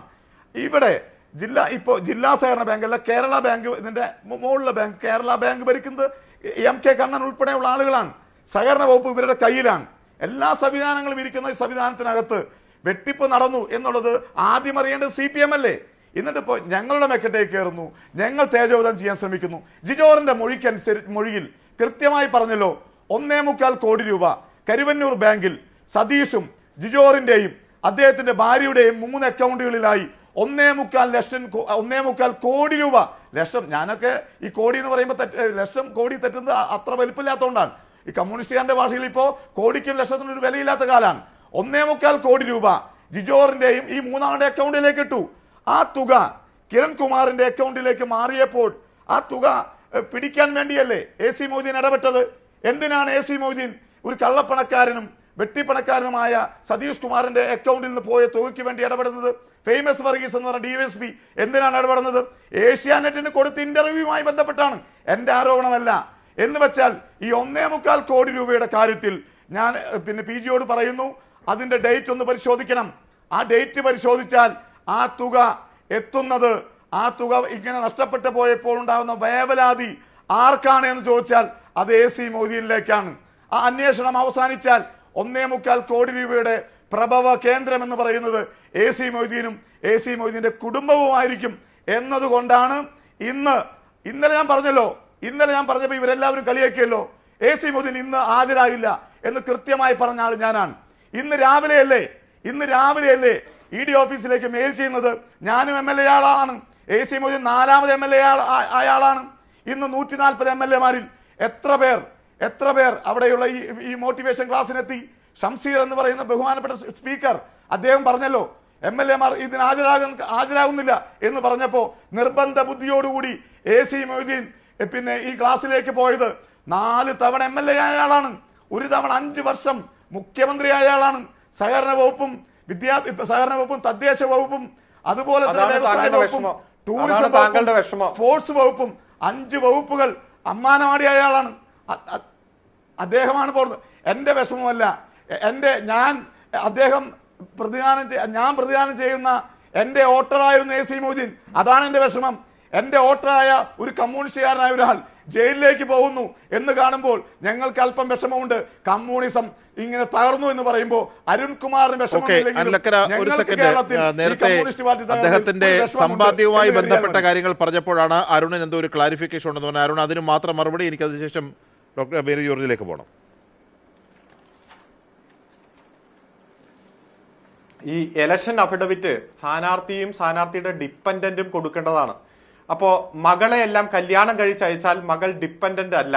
സ്വന്തം മകളുടെ പേരിൽ മച്ചാട് സഹകരണ ബാങ്കിൽ ഒരു ചിട്ടി വിളിച്ച് ഇട്ടിരിക്കുന്ന പണമടക്കം അദ്ദേഹം കണക്ക് കൂട്ടിയെടുത്തിട്ട് ഇതെല്ലാം തെരഞ്ഞെടുപ്പ് അഫിഡവിറ്റിൽ കാണിച്ചില്ല എന്ന രൂപത്തിലാണ് പറഞ്ഞുകൊണ്ടിരിക്കുന്നത്. ഇവിടെ ഇ ഡി കണ്ടെത്തിയത് ഇരുപത്തെട്ട് ലക്ഷം രൂപയാണ്. അത് കൃത്യമായി ഭാര്യ റിട്ടയർ ആകുമ്പോൾ മുപ്പത് വർഷത്തോളം ഗവൺമെന്റ് സർവീസ് കഴിഞ്ഞ് റിട്ടയർ ആയപ്പോൾ കിട്ടിയ തുകയും ഇദ്ദേഹം എം എൽ എ ആയിരിക്കുമ്പോൾ ട്രഷറി അക്കൗണ്ട് തിരുവനന്തപുരം സെക്രട്ടേറിയറ്റിനുള്ളിൽ വന്ന തുക ട്രാൻസ്ഫർ ചെയ്തതാണെന്ന് വ്യക്തമാക്കിയതാണ്. കള്ള കണക്കുകൾ കള്ളക്കണക്കുകൾ നുണ ജനങ്ങളെ തെറ്റിദ്ധരിപ്പിക്കാൻ വന്ന് പറയുകയാണ്. ഒരു ഒരു നിമിഷം. ഡോക്ടർ മേരി ജോർജ് നേരത്തെ ഞാൻ പറഞ്ഞു ഈ ഭരണസമിതിയുടെ ഉത്തരവാദിത്വം. ഇവിടെ എ സി മൊയ്തീൻ എന്ന് പറയുന്നത് സി പി എമ്മിന്റെ തൃശ്ശൂർ ഏറ്റവും ശക്തനായ നേതാവാണ്. അദ്ദേഹം മുൻ മന്ത്രിയാണ് മുൻ ജില്ലാ സെക്രട്ടറിയാണ്. എ സി മൊയ്തീൻ ഈ കാര്യത്തിൽ രണ്ട് തരത്തിലുള്ള ഉത്തരവാദിത്തമുണ്ട് ഇതുവരെ വിവരങ്ങൾ പുറത്തു വന്ന അനുസരിച്ചാണെങ്കിൽ. ഒന്ന് അദ്ദേഹം ജില്ലാ സെക്രട്ടറി ആയിരിക്കുമ്പോൾ തന്നെ വളരെ ഉത്തരവാദിത്തമുള്ള ഒരു വ്യക്തി ഈ ബാങ്കിൽ നടക്കുന്ന ക്രമക്കേടുകൾ മുഴുവൻ രേഖാമൂലം പരാതിയായി നൽകുന്നു. പാർട്ടി ഇതിൽ പരിശോധന നടത്തുന്നു. അപ്പോൾ പൊളിറ്റിക്കലി രാഷ്ട്രീയ ഉത്തരവാദിത്തമുള്ള സി പി എമ്മിന് അന്ന് തന്നെ വ്യക്തമായി ഈ കാര്യങ്ങൾ ബോധ്യമുണ്ട്. പിന്നീട് നേരത്തെ അല്ലക്കര പറഞ്ഞതുപോലെ ഈ വിഷയത്തിൽ രണ്ട് കൂട്ടർ തമ്മിൽ തർക്കമുണ്ടാകുമ്പോൾ എ സി മൊയ്തീൻ ഇടപെട്ടു എന്നുള്ള മൊഴിയാണ്. സാധാരണ ഇടിക്ക് പോകുന്ന മൊഴി പുറത്തു വന്നു കഴിഞ്ഞാൽ ഇ ഡി മാധ്യമങ്ങൾക്ക് ചോർത്തി കൊടുത്ത് ഠാക്കൂർ സേന വഴി പുറത്തു വന്നു എന്നാണ് പറയാറുള്ളത്. പക്ഷേ ഇത്തവണ ഇ ഡിക്ക് കൊടുത്ത മൊഴി മാധ്യമങ്ങൾക്ക് മുമ്പിൽ വന്ന മൊഴി കൊടുത്ത ആൾ തന്നെ പറഞ്ഞിട്ടുണ്ട്. അപ്പോൾ ഇങ്ങനെ ക്രമക്കേട് നടന്ന് വൻതോതിൽ വെട്ടിപ്പ് നടന്ന ഒരു ബാങ്കിൽ ഏറ്റവും നിയമവിരുദ്ധമായി കൊള്ളപ്പലിശയ്ക്ക് പണം കടം കൊടുക്കുന്നവരുടെ തർക്കത്തിൽ അദ്ദേഹത്തെ പോലെ അദ്ദേഹം വിശേഷിപ്പിക്കുന്ന പോലാണെങ്കിൽ മൂല്യബോധമുള്ള ഒരു കമ്മ്യൂണിസ്റ്റ് എന്തിനിടപെടണം എന്നുള്ളതാണ്. ഇതിന്റെ എല്ലാം തിക്തഫലം അനുഭവിച്ചതാകട്ടെ സാധാരണക്കാരിൽ സാധാരണക്കാരായ ആൾക്കാർ. അതുകൊണ്ട് ഇതിൽ അന്വേഷണത്തിന്റെ കാര്യത്തിലും രാഷ്ട്രീയ ഉത്തരവാദിത്തത്തിന്റെ കാര്യത്തിലും സഹകരണ ബാങ്കുകളെ നയിക്കുന്നവർക്ക് മാറി നിൽക്കാൻ കഴിയുന്നതാണോ? മിസ്റ്റർ സുരേഷ് ഒരു കാരണവശാലും ബഹുമാനപ്പെട്ട M L A A C മൊയ്തീനോ അല്ലെങ്കിൽ ഈ സഹകരണ പ്രസ്ഥാനത്തെ അതുപോലെ കേരള ബാങ്കിന്റെ തലപ്പത്തിരിക്കുന്നവർ തൊട്ട് താഴേക്കുള്ള സഹകരണ പ്രസ്ഥാനവുമായിട്ട് ബന്ധപ്പെട്ട് പ്രവർത്തിക്കുന്ന ആർക്കും തന്നെ കൈ കഴുകി മാറാൻ പറ്റാത്ത ഒന്നാണ് സുരേഷ് നേരത്തെ സൂചിപ്പിച്ചതുപോലെ തന്നെ ഇത് പാവപ്പെട്ട മനുഷ്യരുടെ പണമിട്ടാണ് ഇവർ പന്താടുന്നത്. ഇ ഡി എന്താണ് കരുവന്നൂർ രണ്ടായിരത്തി ഇരുപത്തിരണ്ട് ഓഗസ്റ്റ് മാസം കണ്ടെത്തിയത് അവരുടെ നിരീ അവരുടെ പരിശോധനയിൽ കണ്ടെത്തിയത് നാനൂറ് കോടിയുടെ കള്ളപ്പണവുമായി ബന്ധ ഇരുന്നൂറ് കോടിയുടെ കള്ളപ്പണവും നാനൂറ് കോടിയുടെ വായ്പാ തട്ടിപ്പും. ഇങ്ങനെ അറുന്നൂറ് കോടിയുടേത് കണ്ടോണ്ട് കണ്ടതുകൊണ്ടാണ് അവരുടെ അന്വേഷണം അവർ മുൻപോട്ട് കൊണ്ടുപോകുന്നതും മാത്രമല്ല ഡോക്ടർ മേരി ജോർജ് ഒന്ന് ആലോചിച്ച് നോക്കൂ. അൻപതിനായിരം രൂപ വീതം ഇരുപത്തിയഞ്ച് തവണയായി ഒരേ ദിവസം വരികയാണ്. അതെ. ആരുടെയെങ്കിലും പേരിൽ ഒരു ജപ്തി നടപടി ഉണ്ടെങ്കിൽ അങ്ങോട്ട് പോയി പണം കൊടുത്ത് അതിന്റെ പതിന്മടങ്ങ് തുകയ്ക്ക് അവിടെ തന്നെ ഈട് വെച്ച് പലരുടെ അക്കൗണ്ടിലായിട്ട് ഈ പണം കൊണ്ടുപോവുകയാണ്. പല ഉദ്യോഗസ്ഥരുടെയും പല നേതാക്കളുടെയും ഒക്കെ ബിനാമി പണം ഈ സഹകരണ ബാങ്കുകൾ വഴി ദേശസാൽകൃത ബാങ്കിലേക്കൊക്കെ ട്രാൻസ്ഫർ ചെയ്ത് വെളുപ്പിക്കുകയാണ്. അങ്ങനെ അടിമുടി ഇത് കള്ളപ്പണം വെളുപ്പിക്കൽ ക്രമക്കേട് സാധുക്കളുടെ പണം വട്ടിപ്പലിശയ്ക്ക് കൊടുത്ത് ബിനാമി പേരിൽ പൂഴ്ത്തി വെക്കുക ഈ മുഴുവൻ ക്രമക്കേടും നടന്നത് എത്ര കാലമായിട്ടാണ്? പത്ത് വർഷത്തിലധികമായിട്ടാണ്. അതെ അതെ മിസ്റ്റർ സുരേഷ് ഞാൻ ഇതുപോലെ തന്നെ ഒരു ചില ഈ കോപ്പറേറ്റീവ് സെക്ടറുമായിട്ട് ബന്ധപ്പെട്ട് പ്രവർത്തിക്കുന്ന ചില വിദഗ്ധരെ ഞാനും കോണ്ടാക്ട് ചെയ്തിരുന്നു ഈ ചർച്ചയ്ക്ക് വരുന്നതിന് മുൻപ്. അപ്പോൾ അവരെനിക്ക് പറഞ്ഞു തന്ന ഒരു കാര്യമുണ്ട്. അതായത് ഈ ഇവർ ബാങ്കുകൾ നിക്ഷേപ സമാഹരണ യജ്ഞമുണ്ട് ഓരോ വർഷവും. ഇങ്ങനെ നിക്ഷേപ സമാഹരണ യജ്ഞം നടത്തുമ്പോൾ വളരെ അതായത് ആരാലും പിടിക്കപ്പെടാതെ ആരാലും പിടിക്കപ്പെടാതെ എന്ന് വെച്ചാൽ പിടിക്കില്ല. കാരണം ആ സമ പിന്നെ ഇത്രയാണ് അവർ ഇത്രയെങ്കിലും രൂപ നിങ്ങൾ നിക്ഷേപ സമാഹരണം നടത്തിയിരിക്കണം എന്നുള്ള ഒരു ടാർഗറ്റാണ് അവർക്ക് കൊടുക്കുന്നത്. അപ്പോൾ ആ ടാർഗറ്റ് കംപ്ലീറ്റ് ചെയ്യാനായിട്ട് മാർച്ച് മാസം അവസാനമാകുമ്പോഴേക്കും ഏത് തരത്തിലുള്ളവർ അതായത് കള്ളപ്പണമാണെന്ന് നല്ല ഉറച്ച വിശ്വാസ ബാങ്കിലിരിക്കുന്നവർക്ക് കാണും പക്ഷേ അവർ മിണ്ടില്ല. മിണ്ടില്ല എന്നുള്ളത് പരസ്പരം കൈകോർക്കുന്നത് കൊണ്ടാകാം അതുമല്ലെങ്കിൽ അവരുടെ ഗതികേട് കൊണ്ടാകാം ഈ ടാർഗറ്റ് കംപ്ലീറ്റ് ചെയ്യുക. ആ, എന്ന കാരണം കൊണ്ടുമാകാം. രണ്ടായാലും ഈ പറഞ്ഞതുപോലെ അടുപ്പിച്ചടുപ്പിച്ച ദിവസങ്ങളിൽ ഒരു ദിവസം തന്നെയോ ബിനാമി പേരുകളിൽ കാരണം ഈ വിജ്ഞ ഈ എന്താണ് ഈ ഈ ശേഖരണം നിക്ഷേപ സമാഹരണ യജ്ഞത്തിന്റെ അവസാനം വരുമ്പോഴേക്കും K Y C know your customer എന്നുള്ള കണ്ടീഷൻ പോലും വയലേറ്റ് ചെയ്യാം. അതുപോലും നോക്കാതെ തന്നെ. അപ്പം എങ്ങനെയാണെന്ന് വെച്ചാൽ ബിനാമി നെയിംസിൽ ഒരേ ദിവസം തന്നെ പല ബിനാമി നെയിമുകളിൽ പല കോടി രൂപ ഒരാൾക്ക് തന്നെ ഒരു പക്ഷേ വെളുപ്പിക്കാൻ പറ്റും. അതാണ് തുടക്കത്തിലേ ഞാൻ പറഞ്ഞത്. ഇത് ഡീമോണിറ്റൈസേഷൻ കാലത്ത് മുതലേ കരുതി വച്ചിരുന്ന കള്ളപ്പണം വെള്ളപ്പണമാക്കാൻ കിട്ടിയ ഒരു സാഹചര്യമായിട്ടാണ് പാർട്ടി ഇത് പ്രയോജനപ്പെടുത്തുന്നത് എന്ന്. അപ്പോൾ നേരത്തെ തന്നെ മിസ്റ്റർ അരുൺകുമാർ പറഞ്ഞ ഒരു കാര്യം ഞാൻ ഓർമ്മിക്കുകയാണ്. ഞങ്ങളെ എന്തെല്ലാം ഇ ഡി അന്വേഷണം നടത്തി അതൊക്കെ എവിടെ പോയി നിൽക്കുന്നു? മിസ്റ്റർ അരുൺകുമാർ ഇ ഡി മുൻപോട്ട് പോയില്ലെങ്കിൽ പോലും കേരളത്തിലെ ജനങ്ങൾക്ക് പൂർണ വിശ്വാസമാണ് അതിലൊക്കെ പാർട്ടി പ്രതിസ്ഥാനത്ത് തന്നെയെന്ന്. അതായത് സ്വർണത്തിന്റെ കാര്യമാകട്ടെ മറ്റേത് തരത്തിലുള്ള അന്വേഷണം നടത്തിയോ ഇവിടുത്തെ സാധാരണ ജനങ്ങൾക്ക് അതായത് ഞാൻ ഒരു പടി കൂടി കടന്നു പറയുകയാണെങ്കിൽ ആ സ്വർണ കള്ളക്കടത്ത് കേസിന്റെ രേഖകൾ കത്തിപ്പിക്കാൻ കത്തിക്കാൻ വേണ്ടി പി ആർ പോലും മടിക്കാത്ത ഗവൺമെന്റ് ആണെന്നാണ് ഞാൻ പറയുന്നത്. ഞാൻ വിശ്വസിക്കുന്നതും അത് തന്നെയാണ്. അപ്പോൾ അങ്ങനെയുള്ള അതുപോലെ തന്നെ നേരത്തെ ഒരു വനിതാ കമ്മീഷൻ ചെയർപേഴ്സൺ പറഞ്ഞത് ഞാൻ ഓർമ്മിക്കുന്നു. അവരോടുള്ള എല്ലാ ബഹുമാനത്തോടും കൂടി എനിക്ക് തോന്നുന്നു അവർ ദിവംഗതയാണ്. എങ്കിലും ഞാൻ പറയുകയാണ് പാർട്ടിക്ക് പാർട്ടിയുടെ ഒരു കോടതിയുണ്ട് നീതിന്യായ വ്യവസ്ഥയുണ്ടെന്ന്. അപ്പോൾ ഇപ്പം മിസ്റ്റർ സുരേഷ് കുമാറും അനിലും അനിൽകുമാർ അനിൽ അക്കരയും പറഞ്ഞ ആ കാര്യങ്ങൾ തന്നെ. അതായത് പാർട്ടിക്ക് അറിയാം ഈ പറയപ്പെട്ട കാര്യങ്ങളൊക്കെ ഇവിടെ നടന്നുകൊണ്ടിരിക്കുകയാണ്. കരിവന്നൂർ ബാങ്ക് തട്ടിപ്പിൽ ഞങ്ങളുടെ പണം തന്നെയാണ് പല നേതാക്കളും. ഈ നേതാക്കളൊക്കെ ഉണ്ടെങ്കിലേ പാർട്ടിയുള്ളല്ലോ. ഈ നേതാക്കളുടെ പണം തന്നെയാണ് ഇങ്ങനെ ആക്കിക്കൊണ്ട് അതായത് വെള്ളപ്പണമാക്കി മാറ്റിക്കൊണ്ടിരിക്കുന്നത്. അത് നടക്കണം. അത് ആരും ഇടപെടരുത്. എനിക്ക് പാവം കേരള പോലീസിനോട് വലിയ സങ്കട സഹതാപം തോന്നുകയാണ്. എനിക്ക് വലിയ മതിപ്പായിരുന്നു. വളരെ മിടുക്കരായ പോലീസ് ഉദ്യോഗസ്ഥരുള്ള എനിക്ക് തോന്നുന്നു ഞാൻ പഠിപ്പിച്ച ശിഷ്യർ തന്നെ ഐ പി എസുകാരായിട്ട് കേരളത്തിൽ ഒത്തിരി പേരുണ്ട്. ഇവരൊക്കെ എന്താ ഇങ്ങനെ ആയിപ്പോയതെന്നാണ് ഞാൻ ഓർക്കുന്നത്. കാരണം ഇവരൊക്കെ ഇങ്ങനെയായി പോയത് എന്തെന്ന് നമ്മൾ ഒരുപാട് പേരെ കുറിച്ച് ചോദിക്കാറുണ്ട് ഡോക്ടർ മേരി ജോർജ്. ഒരു കാര്യം ഉറപ്പാണ് ഇ ഡി രാഷ്ട്രീയത്തെ രാഷ്ട്രീയത്തെക്കുറിച്ചൊക്കെ പറയുമ്പോൾ ഒരു യാഥാർത്ഥ്യം ഉൾക്കൊള്ളണം. രണ്ടായിരത്തി പതിനൊന്നിൽ പാർട്ടിക്ക് വ്യക്തമായ പരാതി കിട്ടിയതാണ്. പാർട്ടി രണ്ട് തവണ ഇത് ഒരു കമ്മീഷനെ വെച്ച് പരിശോധിച്ചതാണ്. ഈ രണ്ടായിരത്തി പത്തൊൻപതിൽ തന്നെ ലോക്കൽ പോലീസും ക്രൈംബ്രാഞ്ചും കേസെടുത്ത് അന്വേഷണം നടത്തുകയാണ്. രണ്ടു വർഷത്തെ വിശദമായ അന്വേഷണം ക്രൈംബ്രാഞ്ച് നടത്തിയിട്ട് പോലും ഇതിൽ ചാർജ് ഷീറ്റ് കൊടുത്തിട്ടില്ല. ഇതിലെ ഈ വൻ തുക ബിനാമി പണമിടപാട് നടത്തിയ സതീശനിലേക്ക് മൊഴി രേഖപ്പെടുത്തിയതിനപ്പുറത്തേക്ക് പ്രധാനപ്പെട്ട സൂത്രധാരനാണെന്ന് കണ്ടെത്തിയിട്ട് പോലുമില്ല. രാഷ്ട്രീയ ഉത്തരവാദിത്തമുള്ളവരെ വിളിച്ച് ചോദ്യം ചെയ്തിട്ടില്ല. അപ്പോൾ ഇപ്പോൾ മാത്രമാണ് ഇതിൽ നടന്നിട്ടുള്ള ക്രമക്കേടിന്റെ പൊരുൾ സംബന്ധിച്ച പല വിവരങ്ങളും പുറത്തേക്ക് വരുന്നത്. പക്ഷേ ഇന്ന് ഏറെക്കാലത്തിന് ശേഷം മുഖ്യമന്ത്രി പിണറായി വിജയൻ വാർത്താ സമ്മേളനം നടത്തിയപ്പോൾ ഈ കാര്യം ചോദിച്ചു. അദ്ദേഹം ഈ ക്രമക്കേടിനെ ഒരു തരത്തിലും ന്യായീകരിച്ചില്ലെങ്കിൽ പോലും അതിനെ ഏത് ദിശയിലേക്കാണ് കൊണ്ടുപോകുന്നത് എന്നതും നേരിയ തോതിൽ ആശങ്ക ഏഴ് മാസത്തിന് ശേഷം മുഖ്യമന്ത്രി പിണറായി വിജയൻ ഇന്ന് വാർത്താ സമ്മേളനം നടത്തി. മുഖ്യമന്ത്രിയോട് ഈ ബാങ്ക് തട്ടിപ്പിനെ കുറിച്ചുള്ള ചോദ്യങ്ങൾ ഉന്നയിച്ചു. അതിന് മുഖ്യമന്ത്രി പറഞ്ഞ മറുപടികൾക്ക് സി പി ഐ എമ്മിനെ ബാധിക്കുന്ന പ്രശ്നമായിട്ട് മാത്രം ഇതിനെ കാണേണ്ടതായിട്ടില്ല. ഇപ്പോൾ അവർ ലക്ഷ്യമിടുന്നത് സി പി എമ്മിനെ ആയിരിക്കാം. പക്ഷേ നാം കാണേണ്ട ഒരു കാര്യം അത് സി പി ഐ എമ്മിനെ മാത്രം ലക്ഷ്യമിടുന്ന ഒന്നല്ല.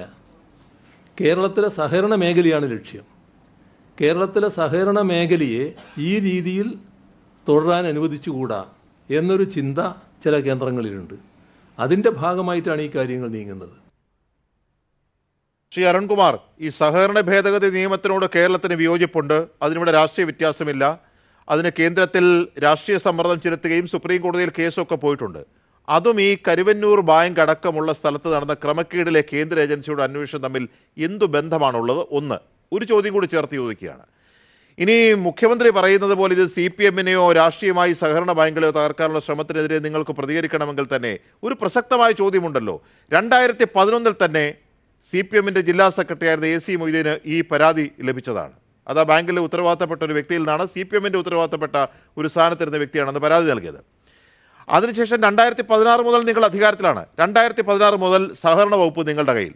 അധികാരത്തിലിരിക്കുന്ന നിങ്ങൾ ആഭ്യന്തരം ഭരിക്കുന്ന നിങ്ങൾ അവിടുത്തെ ഭരണസമിതിയെ രാഷ്ട്രീയമായി നിയന്ത്രിക്കുന്നത് നിങ്ങൾ. അല്ലെങ്കിൽ നിങ്ങളുടെ രാഷ്ട്രീയ പ്രസാദപ്പെട്ടവരാണ് ഈ നിക്ഷേപകരുടെ പണം നഷ്ടപ്പെടാതിരിക്കാൻ നിങ്ങൾ എന്ത് ചെയ്തു? സി പി എം എന്നുള്ളതായിരിക്കും.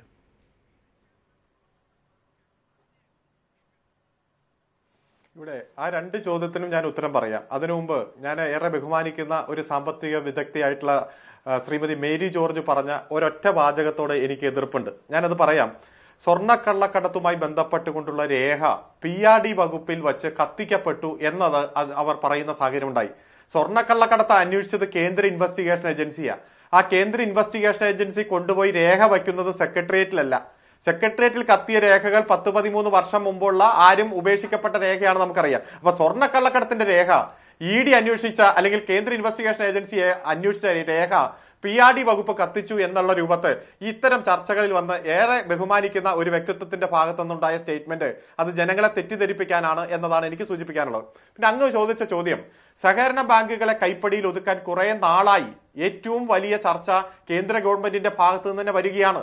Justice K M Joseph supreme കോടതിയിൽ വിശദമായി ഒരു കേസ് കേട്ടിട്ട് വിധി പറഞ്ഞു സഹകരണ ബാങ്കുകൾ എന്നുള്ളത് സ്റ്റേറ്റ് ലിസ്റ്റിൽ തന്നെയാണ് പെടുന്നത്. ഒന്ന് ഒന്നിലധികം സംസ്ഥാനങ്ങൾ കൂട്ടിയോജിച്ചുകൊണ്ടുള്ള ബാങ്കുകൾ ഉണ്ടെങ്കിൽ അല്ലെങ്കിൽ ഒരു ബാങ്കിന്റെ പ്രവർത്തന പരിധി ഒന്നിലധികം സംസ്ഥാനങ്ങളിൽ വരുമ്പോൾ മാത്രമാണ് അത് കൺകറന്റ് ലിസ്റ്റ് എന്ന രൂപത്തിൽ കേന്ദ്ര ഗവൺമെന്റിന് ഇടപെടാൻ കഴിയൂ എന്നുള്ള രൂപത്തിൽ സുപ്രധാനമായിട്ടുള്ള വിധി വന്നത് നമ്മുടെ മുന്നിലുണ്ട്. ഇപ്പോ ശ്രീ അമിത്ഷാ തന്നെ ഡയറക്ടറായിട്ടുള്ള ബാങ്കിന്റെ എണ്ണൂറ്റൻപത് കോടി രൂപയുടെ കുംഭകോണം എല്ലാം ഗുജറാത്തിൽ നിന്ന് പുറത്തു വന്ന സാഹചര്യമുണ്ട്. അപ്പൊ കേരളത്തിൽ സഹകരണ ബാങ്ക് മേഖലയെ തകർത്തുകൊണ്ട് അത് തങ്ങളുടെ കൈപ്പടിയിൽ ഒതുക്കാൻ കേന്ദ്രം നടത്തിക്കൊണ്ടിരിക്കുന്ന നിരന്തരമായിട്ടുള്ള ഇടപെടലിനെതിരെ രാഷ്ട്രീയ നിറവ്യത്യാസം മാറ്റിവെച്ചുകൊണ്ട് അതിശക്തമായിട്ടുള്ള സമരങ്ങളും പോരാട്ടങ്ങളും പ്രതിഷേധവും എല്ലാം ഉയർന്നു വരുന്ന ഒരു ഘട്ടത്തിൽ തന്നെയാണ് ഇപ്പൊ ഘട്ടം നമ്മുടെ സംസ്ഥാനത്ത് നടക്കുന്നത്. പക്ഷേ? ഈ കരിവണ്ണൂർ ബാങ്കിന്റെ സാഹചര്യത്തെ അതിനോട് താരതമ്യപ്പെടുത്തിയല്ല. ആ ഞാൻ പറയാം അതിലേക്കാണ് വരുന്നത്. ഇവിടെ ഞാൻ ആദ്യം സൂചിപ്പിച്ചല്ലോ പുൽപ്പള്ളി ബാങ്കിൽ വലിയ അഴിമതി ഉണ്ടായി. അവിടെ കെ പി സി സി സെക്രട്ടറിയുടെ പേര് എഴുതി വെച്ച് ആത്മഹത്യ ചെയ്ത ചരിത്രം നമ്മുടെ മുന്നിൽ ഉണ്ടായി അതുപോലെ Mugu bank B J P ഭരിക്കുന്ന നിരവധി ശാഖകളുള്ള കാസർഗോഡുള്ള ബാങ്ക് വലിയ കുംഭകോണം പുറത്തു വന്നു. അവിടെ ഇ ഡി അടക്കം അന്വേഷിക്കുന്ന സാഹചര്യം ഉണ്ടായി അതുപോലെ തന്നെ പുത്തൂർ ബാങ്ക് കോൺഗ്രസ് ഭരിക്കുന്ന ബാങ്ക് വലിയ അഴിമതി ഉണ്ടാകും മാവേലിക്കര ബാങ്ക്. അപ്പോൾ ഇത് സഹകരണ പ്രസ്ഥാനത്തിന്റെ കരുത്തിനെ ചോർക്കു ചോർത്തിക്കളയുന്ന തരത്തിൽ ചില ബാങ്കിൽ നിന്ന് പുറത്തു ഈ രാഷ്ട്രീയ വേർതിരിവോടെ കോൺഗ്രസ് ഭരിക്കുന്ന സഹകരണമായെങ്കിലും സഹകരണ ബാങ്കിലും സി പി എം ഭരിക്കുന്ന സഹകരണ ബാങ്കിലുമുള്ള അഴിമതിയുടെ തോത് ഞാൻ കണക്ക് ഒരു കണക്കെടുപ്പിന് വരുന്നില്ല. കാരണം അത് ഏത് പാർട്ടി അധികാരത്തിലിരുന്ന് കഴിഞ്ഞാലും രാഷ്ട്രീയ അധികാരം ഉപയോഗിച്ചുകൊണ്ട് സഹകരണ പ്രസ്ഥാനങ്ങളെ കട്ടുമുടിക്കുന്നത് ശുദ്ധ വൃത്തികേടാണ് അങ്ങനെയുള്ളവരെ കയ്യാമ വെച്ചാകത്തിടണം പക്ഷേ നമ്മൾ ഈ ചരിത്രം മുന്നോട്ടങ്ങ് തെരഞ്ഞു പോയി കഴിഞ്ഞാൽ ഇത് ഇവിടെ നിൽക്കില്ല. കോട്ടയം ജില്ലയിലെ ഇളംകുളം എന്ന് പറഞ്ഞൊരു സ്ഥലമുണ്ട്. അവിടെ ഒരു സർവീസ് സഹകരണ ബാങ്ക് ഉണ്ടായിരുന്നു. നാല്. വാർഡ് മാത്രമായിരുന്നു എന്റെ അധികാര പരിധി. മുപ്പത് കോടി രൂപയുടെ ക്രമക്കേടാണ് നടന്നത്. സഹകരണ ജോയിന്റ് രജിസ്ട്രാറുടെ ഒരു അന്വേഷണ പരിധിയിൽ അന്ന് കണ്ടെത്തിയ കാര്യം എന്താണ്? പാമ്പാടിയിൽ താമസിക്കുന്ന വ്യക്തിക്ക് എങ്ങനെയാണ് ഇളംകുളത്തെ സർവീസ് സഹകരണ ബാങ്കിൽ ഓഹരി എടുക്കാൻ കഴിയുന്നത് വായ്പ എടുക്കാൻ കഴിയുന്നത് അക്കൗണ്ട് ട്രാൻസാക്ഷൻ നടത്താൻ കഴിയുന്നത്? അന്നു മുതൽ നോക്കിയാൽ ഇന്നോളം ഈ സഹകരണ ബാങ്കുകളിൽ ക്രമക്കേട് നടത്തിയിട്ടുള്ള രാഷ്ട്രീയ ഉത്തരവാദിത്തമുള്ളവർക്ക് ഒരു ചുക്ക് സംഭവിച്ചിട്ടില്ല കേരളത്തിൽ. ഏത് രാഷ്ട്രീയ പാർട്ടിയിലാണെങ്കിലും. അല്ലല്ല ഇതിന് സഹകരണ നിയമം ഏറ്റവും ശക്തമായിട്ടുള്ള നിയമമാണ് ഈ കേരളത്തിലുള്ളത്. ഇവിടെ ഒരാൾക്ക് പോലും പണം നഷ്ടപ്പെടുന്ന സാഹചര്യം ഉണ്ടാകാൻ പാടില്ല. സഹകരണ നിയമങ്ങൾ പ്രകാരം ആ ബാങ്കുകൾക്ക് ടെറിട്ടോറിയൽ ജൂരിസ്ഡിക്ഷൻ ഉണ്ട്. അതിലുള്ള ആളുകൾക്ക് മെമ്പർഷിപ്പ് ഉള്ളൂ. ആ മെമ്പർഷിപ്പ് ഉള്ളവർക്ക് മാത്രമേ ലോൺ എടുക്കാൻ കഴിയൂ. ലോൺ എടുക്കുമ്പോൾ കൃത്യമായിട്ടുള്ള രേഖ ഹാജരാക്കണം. ആ അതിന്റെ ഡോക്യുമെന്റ് വാല്യുവേഷൻ അയക്കണം. Legal opinion? ആ വാല്യുവേഷന്റെ പരിധിയിൽ നിൽക്കുന്ന ലോണേ കൊടുക്കാവൂ. ഇവിടെ ഇപ്പൊ കരുവന്നൂരും ആ ആ കരിവണ്ണൂറുമായി ബന്ധപ്പെട്ടുകൊണ്ട് എന്താ പ്രശ്നം? പലരും അതൊക്കെയാണോ നടക്കുന്നത്? അരുൺകുമാറെ ഞാൻ സഹകരണ മേഖലയുടെ വിശ്വാസം തകർക്കുന്നത് കേരളത്തിന് നല്ലതല്ല എന്ന് നല്ല ബോധ്യമുള്ള ഒരു വ്യക്തിയാണ് ഞാൻ മാധ്യമപ്രവർത്തകൻ എന്നുള്ളതിനപ്പുറത്തേക്ക് ഞങ്ങളൊക്കെ സഹകരണ മേഖലയുമായി സഹകരിക്കുന്നവരാണ്. പക്ഷേ എനിക്ക് വ്യക്തിപരമായി അറിയാം എത്രയോ സഹകരണ സംഘങ്ങളിൽ ഈ പരിധിക്കപ്പുറത്തുള്ളവർക്ക് എത്ര ലക്ഷ ദശലക്ഷക്കണക്കിന് രൂപയാണ് വായ്പ കൊടുത്തിരിക്കുന്നത്. രണ്ട് ദിവസമായി നമുക്ക് വ്യക്തിപരമായി വരുന്ന വിവരങ്ങൾ പല സഹകരണ ബാങ്കിലും നടക്കുന്ന വിവരങ്ങൾ നമ്മെ അമ്പരപ്പിക്കുന്നതാണ്. ഏഴു വർഷത്തിലധികമായി നിങ്ങൾ അധികാരത്തിലിരിക്കുകയാണ്. ഇത് മഞ്ഞുമലയുടെ അഗ്രമാണെന്ന് കുറേ കാലമായി പറയുന്നതാണ്. അപ്പോൾ എന്തെങ്കിലും അന്വേഷണം വരുമ്പം സഹകരണ മേഖലയെ തകർക്കരുത് തൊട്ടുപോയേക്കരുത് ഞങ്ങളെ ഭീഷണിപ്പെടുത്തരുത് സി പിയുടെ ഉണ്ടയെ നേരിട്ടവരാണ് എന്നൊക്കെ പറയുന്നതിന് പകരം സാധാരണക്കാരായ അധ്വാനിച്ച അവർ ഇരുപത്തഞ്ച് മുപ്പതും വർഷം ജോലി ചെയ്ത് അവസാനം അവരുടെ ശിഷ്ടകാലത്ത് മരുന്ന് വാങ്ങാൻ കിട്ടുന്ന പണം നിക്ഷേപിച്ചിരിക്കുന്ന ബാങ്കുകളാണ് സാർ ഇത്. നിങ്ങൾ ആ ഗൗരവത്തോടെ വേണം അധികാരത്തിലിരിക്കുന്നവർ ഇതിനെ കൈകാര്യം ചെയ്യാൻ. യെസ് അല്ല അതുകൊണ്ട് തന്നെയാണ് സഹകരണ ബാങ്കുകളിലെ ഏതെങ്കിലും തരത്തിലുള്ള തട്ടിപ്പുകൾ പുറത്തു വരുമ്പോൾ അതിശക്തമായിട്ടുള്ള നടപടി സ്വീകരിക്കുന്നത്. ഇപ്പൊ ഈ ബാങ്കിൽ തന്നെ ആരാണ് ഒന്നാം പ്രതി? ഒന്നാം പ്രതി സഹകരണ ഇവിടുത്തെ ബാങ്ക് സെക്രട്ടറിയാണ്. ഏത് ലോൺ എടുക്കുമ്പോഴും അദ്ദേഹത്തിന്റെ തമ്പ് ഇംപ്രഷൻ ഉണ്ട് അതിൽ. കാരണം അദ്ദേഹം ഒപ്പിടാതെ ലോൺ കിട്ടില്ലല്ലോ. രണ്ടാം പ്രതി മാനേജറാണ് ശ്രീ അരുൺകുമാർ അത് ഇവിടെ നിലനിൽക്കുന്ന വാദമാണ്. ശരിയാണ്. അതുപോലെ വായ്പ കൊടുക്കുന്നതിന്റെ ഉത്തരവാദിത്വം ഉത്തരവാദിത്തം അവിടുത്തെ ഭരണസമിതി അംഗങ്ങൾക്കും സെക്രട്ടറിക്കും അക്കൗണ്ടന്റിനും ഒക്കെ ഉണ്ട്. പക്ഷേ ഇവിടുത്തെ യാഥാർത്ഥ്യം ആലോചിച്ച് നോക്കൂ. നമുക്ക് വാദിക്കാൻ വേണ്ടി പറയാം. അവരറിയാതെ അവിടെ നടന്ന കോടികളുടെ ഇടപാടിനെ കുറിച്ചല്ലേ വിവരങ്ങൾ പുറത്തു വന്നിട്ടുള്ളത്? അങ്ങനെ അവർ കുടുങ്ങിപ്പോയെന്ന് പറയുന്നവർ ഇന്ന് ജീവിക്കുന്ന എങ്ങനെയാണ്? കൂലിപ്പണി എടുത്തും കല്ലുവെട്ട് ജോലിക്കുമാണ് അല്ല അതിൽ രണ്ടും രണ്ടാണ്. കോമൺ ആക്കല്ലേ? അതായത് അത് ഞാൻ സൂചിപ്പിക്കാം. അവിടുത്തെ ജീവനക്കാരെ സംബന്ധിച്ചിടത്തോളം അവരറിയാതെ ഒരു രൂപ നിക്ഷേപം അവിടെ വരുമോ അവിടുത്തെ ജീവനക്കാർക്ക് അറിയാമല്ലോ ആരൊക്കെയാണ് അവിടെ മെമ്പർഷിപ്പ് ഉള്ളതെന്ന്. ആ മെമ്പർഷിപ്പ് ഉള്ളവർ ആ പരിധിയിലാണോ താമസിക്കുന്നത് ഈ മഹാൻ എവിടെ വന്നതാണ്? എങ്ങനെയാണ് അയാൾ ഈ ഞാൻ നേരത്തെ പറഞ്ഞ രണ്ടായിരത്തി പതിമൂന്ന് ഡിസംബർ മാസം പതിനേഴാമത്തെ അക്കൗണ്ട് ലിസ്റ്റ് നോക്കിക്കഴിഞ്ഞാൽ ഇത്രയാണ് ഒറ്റ ചോദ്യം അതിന് ഉത്തരമായില്ല. ഞാൻ ചോദിക്കുന്നത് രണ്ടായിരത്തി പതിനൊന്നിൽ തന്നെ പരാതി കിട്ടിയിട്ട് രണ്ടായിരത്തി പതിനാറ് മുതൽ ഇതുവരെ അധികാരത്തിൽ നിന്ന് നിങ്ങൾക്ക് സഹകരണ വകുപ്പും ആഭ്യന്തരവും ഒക്കെ കയ്യിലുണ്ടായിരുന്നിട്ടും രാഷ്ട്രീയ ഉത്തരവാദിത്തം ഉണ്ടായിരുന്നിട്ടും അവിടുത്തെ നിക്ഷേപകരെ സംരക്ഷിക്കാൻ എന്തുകൊണ്ട് കഴിഞ്ഞില്ല? എന്താണ് നിങ്ങൾക്ക് അതിനുള്ള മറുപടി? യെസ് യെസ് ഞാൻ അതിൽ ആ ഉത്തരത്തിലേക്ക് വരാം. അങ്ങ് ഒരു ഒരു മിനിറ്റ് ഒന്ന് ക്ഷമിക്ക്. ഞാൻ പറഞ്ഞല്ലോ അതിലെ ഡയറക്ട് ബോർഡ് അംഗങ്ങൾ അടക്കം പ്രതിയായവർ. അവർ ശരിക്കും ഒരു ലോൺ അപേക്ഷ വരുമ്പോൾ ആ ലോൺ അപേക്ഷ നൽകിയ ആൾ തങ്ങളുടെ ബാങ്കിന്റെ പരിധിയിലാണോ ജീവിക്കുന്നത്? അവരുടെ പ്രോപ്പർട്ടി വാല്യുവേഷൻ ഉണ്ടോ എന്ന് പരിശോധിക്കാനുള്ള ഉത്തരവാദിത്തമുണ്ട് പക്ഷെ ആ ഉത്തരവാദിത്വം അവർക്ക് നിർവഹിക്കാൻ കഴിയാതെ അവിടുത്തെ സെക്രട്ടറിയും മാനേജറും എല്ലാം ആ ഉത്തരവാദിത്വം നിർവഹിച്ചതിന്റെ ഭാഗമായി ഡയറക്ട് ബോർഡ് അംഗങ്ങൾ ചിലപ്പോൾ അറിയാതെ തന്നെ ഇതിന്റെ ഭാഗവാക്കായി മാറുന്ന സാഹചര്യം ഉണ്ടായിട്ടുണ്ട്. അവർക്ക് ചിലപ്പോൾ പരിശോധിക്കാൻ അവസരം കിട്ടിയിട്ടില്ല. അപ്പൊ അതും അവിടുത്തെ ജീവനക്കാരെയും ഒരേപോലെ ക്രമം വിട്ടുള്ള വായ്പ നൽകലും അധികാര ദുർവിനിയോഗവും മാത്രമല്ല കരുവന്നൂരിലെ ക്രമക്കേട്. അനുബന്ധമായി നടന്ന എട്ട് സ്ഥലങ്ങളിലെ റെയ്ഡുകൾ നൽകുന്ന സൂചന. ഇതിന്റെ പിന്നിൽ നടന്നിട്ടുള്ളത് അതിനൊക്കെ അപ്പുറത്തേക്കുള്ള കാര്യമാണ്. ശ്രീ അനിലക്കര എന്തായാലും വി എൻ വാസവൻ സഹകരണ മന്ത്രിയും മുഖ്യമന്ത്രി തെളിച്ച അതേ വഴി തന്നെ കാര്യങ്ങൾ മുന്നോട്ട് വെക്കുകയാണ്. സഹകരണ മേഖലയെ തകർക്കാനുള്ള നീക്കങ്ങൾക്കെതിരെ പൊരുതണമെന്നുള്ള ആഹ്വാനം അദ്ദേഹത്തിന്റെ വാർത്താക്കുറിപ്പായിട്ട് വന്നിട്ടുണ്ട്. കരുവന്നൂരിലും അയ്യന്തോളിലും ഇത് തൃശ്ശൂരിലും ഒതുങ്ങില്ല എന്നുള്ള സംശയങ്ങൾ ജനിപ്പിക്കുന്ന തരത്തിലാണ് പല നേതാക്കളിലേക്കും ആരോപണത്തിന്റെ വിരൽ ചൂണ്ടുന്നത്. എം കെ കണ്ണൻ അദ്ദേഹം ഒരു പ്രതികരണം നടത്തിയെന്ന് കേൾക്കാം. അനിലക്കരയും ഇ ഡിയും ബി ജെ പിയും കൂടി നടത്തുന്ന ഒരു നാടകമാണ് ഇപ്പൊ സഹകരണ മേഖലയിൽ നടക്കുന്നത്. ഇവിടുത്തെ ഡെപ്പോസിറ്റർമാരെ ഡെപ്പോസിറ്റ് ഇവിടുന്ന് എടുത്ത് കുണ്ടിയ പലിശക്കാരന്റെയും ഈ നിധിയിലേക്കും മൾട്ടി സ്റ്റേറ്റിലേക്ക് എത്തിക്കുന്നതിന് വേണ്ടി നടത്തുന്ന ഒരു സംഘടിതമായ ഗൂഢാലോചനയാണ് ഇപ്പോൾ നടക്കുന്നത്. ഇ ഡി പല ആക്ഷേപമുണ്ട് അയാളെ കുറിച്ച് ഉണ്ടാവാം. അത് ഇ ഡിയുടെ ശരിയാവാം. അത് കള്ളപ്പണക്കാരെ ഇ ഡി കണ്ടെത്തിക്കോട്ടതിന് ഇവിടെ ഈ ഒരു കള്ളപ്പണവും ഇല്ല ഇവിടെ അവർക്ക് കണ്ടുപിടിക്കാനും കഴിഞ്ഞിട്ടില്ല.